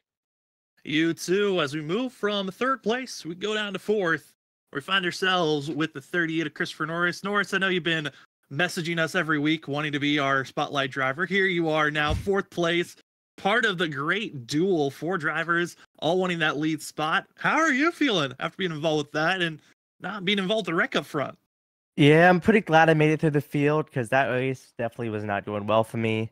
Um, I was kind of on the defense there, even though I may have should have been on the offense, I guess.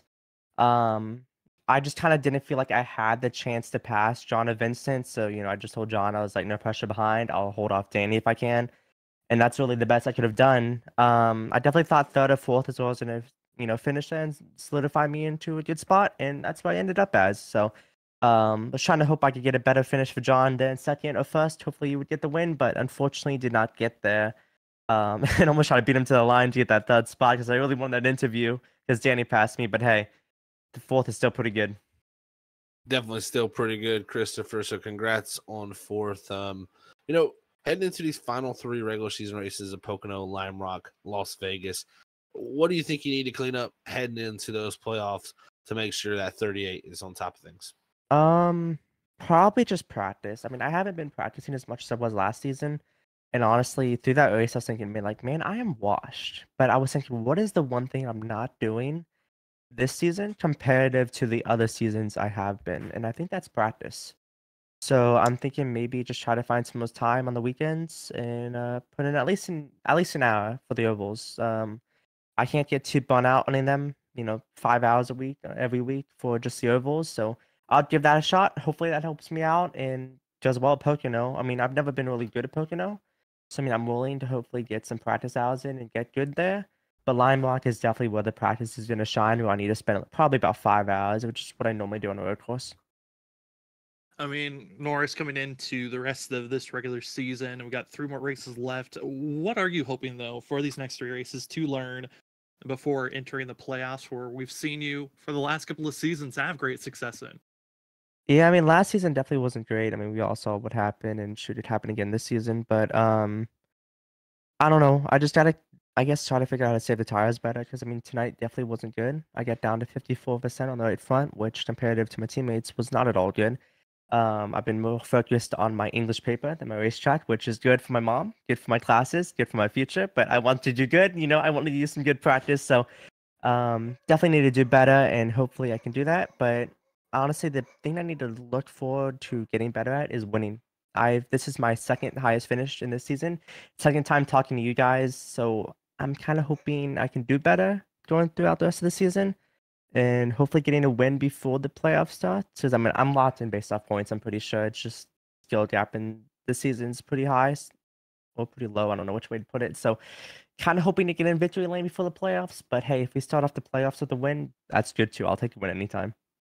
Hey, those are solid, solid goals to have for yourself for these final couple of races. Well, Norris, congratulations again on fourth place here tonight. And before we let you go, the floor is now yours. Thank you. So I of course have to shout out my teammates, Nick, uh, Cody, and John. Unfortunately, Nick and Cody had unfortunate strategies and unfortunate races where Cody gets some pretty bad damage.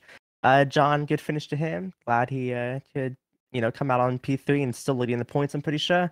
Um, as well as Tyler for being just like, you know, affiliate teammate, just like we had him, I think, for like two seasons now. So he's just kind of chilling in there, giving us some insight throughout the field. Uh, customlids.com, we can get a hat just like the one on my head and also one right in front of me in case my camera's on.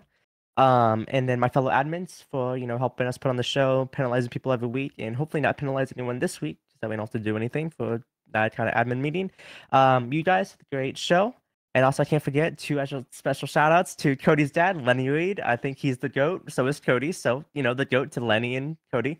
And as well as my big fans, big, big fans in season two. I heard he's a great guy, and I heard he loves the 38 truck. Just give big shout out to Ollie's grandpa. Big guy, big fan. I'm glad he loves the 38 truck, and hopefully he keeps on, you know, pushing me on, giving me some momentum for the further races. Well, great shout outs there, Norris. Congratulations again on fourth place. Enjoy this one and good luck next week at Pocono. Thank you. As we move away from our interviews, we get prepared to take a look at our unofficial results here tonight. Once again, more late race cautions. Thought maybe some drivers had the win in the palm of their hands, and then it just made it a little bit more difficult with these late restarts. But taking the unofficial win here this evening, this third of the season, give it to Vincent Sora in the 15 machine. Danny Cochran, his teammate, to finish in second. John Forbes, third. Christopher Norris to finish fourth. Joshua Kanata to finish in fifth place. Another great finish for the 16. Uh, to be uh, seeing Jarrett Talmadge to be in sixth. And with his finish here tonight, actually to put him inside the top 25. So a win could bounce seeing the 10 machine in the playoffs with the way that as the season has progressed. GTRs are going to be in seventh. Eighth, we find Cedric Hunter, who really recovered after his big uh, slip up earlier on in the race and late. Uh, ninth goes to Samuel Garcia, one of his best finishes of the season, and finishing out in the top 10. It's the 39 of Joshua Freed.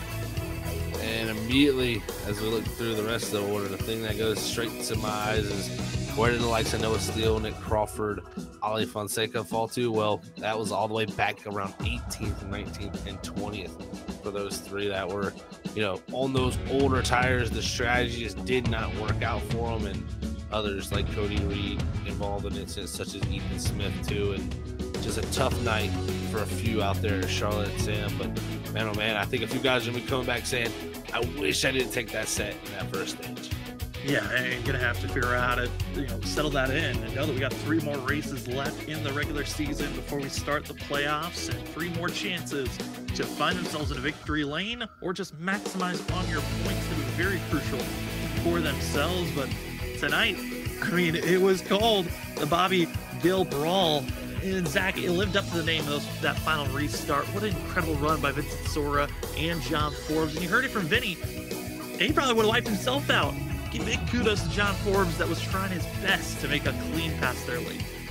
He played nice, I, you know, and I think if Forbes didn't get into that outside wall, I think he was waiting to use a maneuver with the bumper, but a little bit later. And I think when getting to that wall, it just kind of stopped everything from happening for him. So I think that kind of stopped the brawl we had. But perfect name for the race tonight. Again, shout out to Bobby Gill, um, definitely a legend out there, and we're all rooting for him for sure in his uh, in his time right now, and uh, I'm sure he, he would definitely be impressed by that battle that we just seen. But for sure, Jonathan Forbes showed a lot of restraint that I felt like was going to be out the window pretty quickly.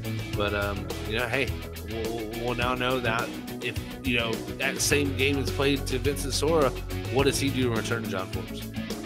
What will we see? The Tricky Triangle going to be our next destination. Going to be a fun one to watch. You don't want to miss out for. Also in chat, uh, if you haven't seen already, check out the pinned uh, comment that is the GoFundMe to go support Bobby Gill, who is dealing with chemo treatment and recovering from surgery.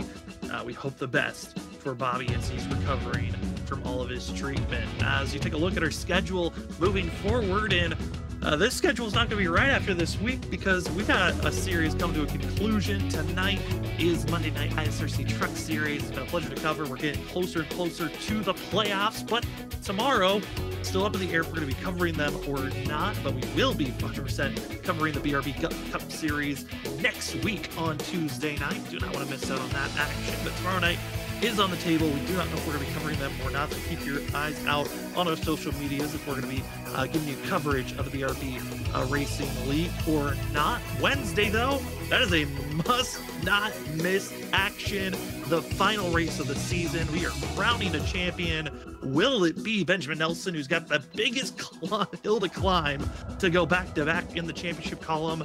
or will we finally see a new champion across the boards and grab that season eight trophy from Trophy Smack? Don't want to miss out on Wednesday night. Then Thursday, it's the Shoney's Doghouse Cup Series. After taking a two-week break, they're back to racing action on Thursday, our last uh, potential full week of broadcast here on Freeky Fast Broadcasting. And Zach, it's certainly uh, excited to see how WSSR is going to come to a conclusion. And could you be the one hoisting the trophy on Wednesday night? I would love to. I mean, that that would be amazing. Um, didn't have a great Charlotte, so we're, we're sitting pretty similar to uh, that that last season champion Benjamin Nelson. But anything's possible, man. I mean, we all started dead even at Charlotte last week. I lost ten points. Never know you can gain ten points. It's, it's all in the realm of possibility coming down to the end. And Kansas is a track I think people, if, if you aren't busy on Wednesday nights, make sure you tune in because that's probably the best track on the service when it comes to the Gen 4 car. I think we're going to be able to put up quite on the show. And, uh, you know, I, I think uh, there's going to be some a very happy driver, and I think we're going to see a new champion for sure. New champion seems to be on the higher scale, but we will see on Wednesday night again is the WSSR Cup Series season finale this upcoming Wednesday. But for tonight, again, thank you for joining with us. Charlotte gave us the pleasure of a great show. Next week, the drivers try to test their skills at the tricky triangle of Pocono. Should be a fun one. But for tonight, again, if you'd like to support uh, Bobby Gill and that family as they're having uh, a GoFundMe to help medically support, um, financially support the medical bills of Bobby Gill, go down to the GoFundMe and you can support in that fashion uh, financially, or you can just share the link to the GoFundMe. That also is just as big of a help uh, with Bobby Gill as he's recovering from chemo treatment and the family is dealing through those tough times. As for us here tonight, for myself, Sam Dyer, for Zach Hall and Robert Moyer Jr., and everyone else at Freeky Fast Broadcasting, thank you so much for joining with us on your Monday night. It's been a pleasure. The drivers gave us a fantastic show to cover. And we cannot wait for the next one. Next week's going to be a fun one to watch. Pocono Raceway for 80 laps. Could we see a first time winner this season? Or will we see another driver try to grab their multiple wins? Seen a couple of those this season. Will we see another? Don't want to miss out. Again, tomorrow night, still on the table. We don't know if we are or are not. Keep your eyes out on social media if we're covering the BRB uh, Cup Series. If not, we will see you Wednesday night. WSSR season finale, Kansas. Who's getting crowned the season eight champion? You don't want to miss it. That will be our next Freeky Fast broadcast.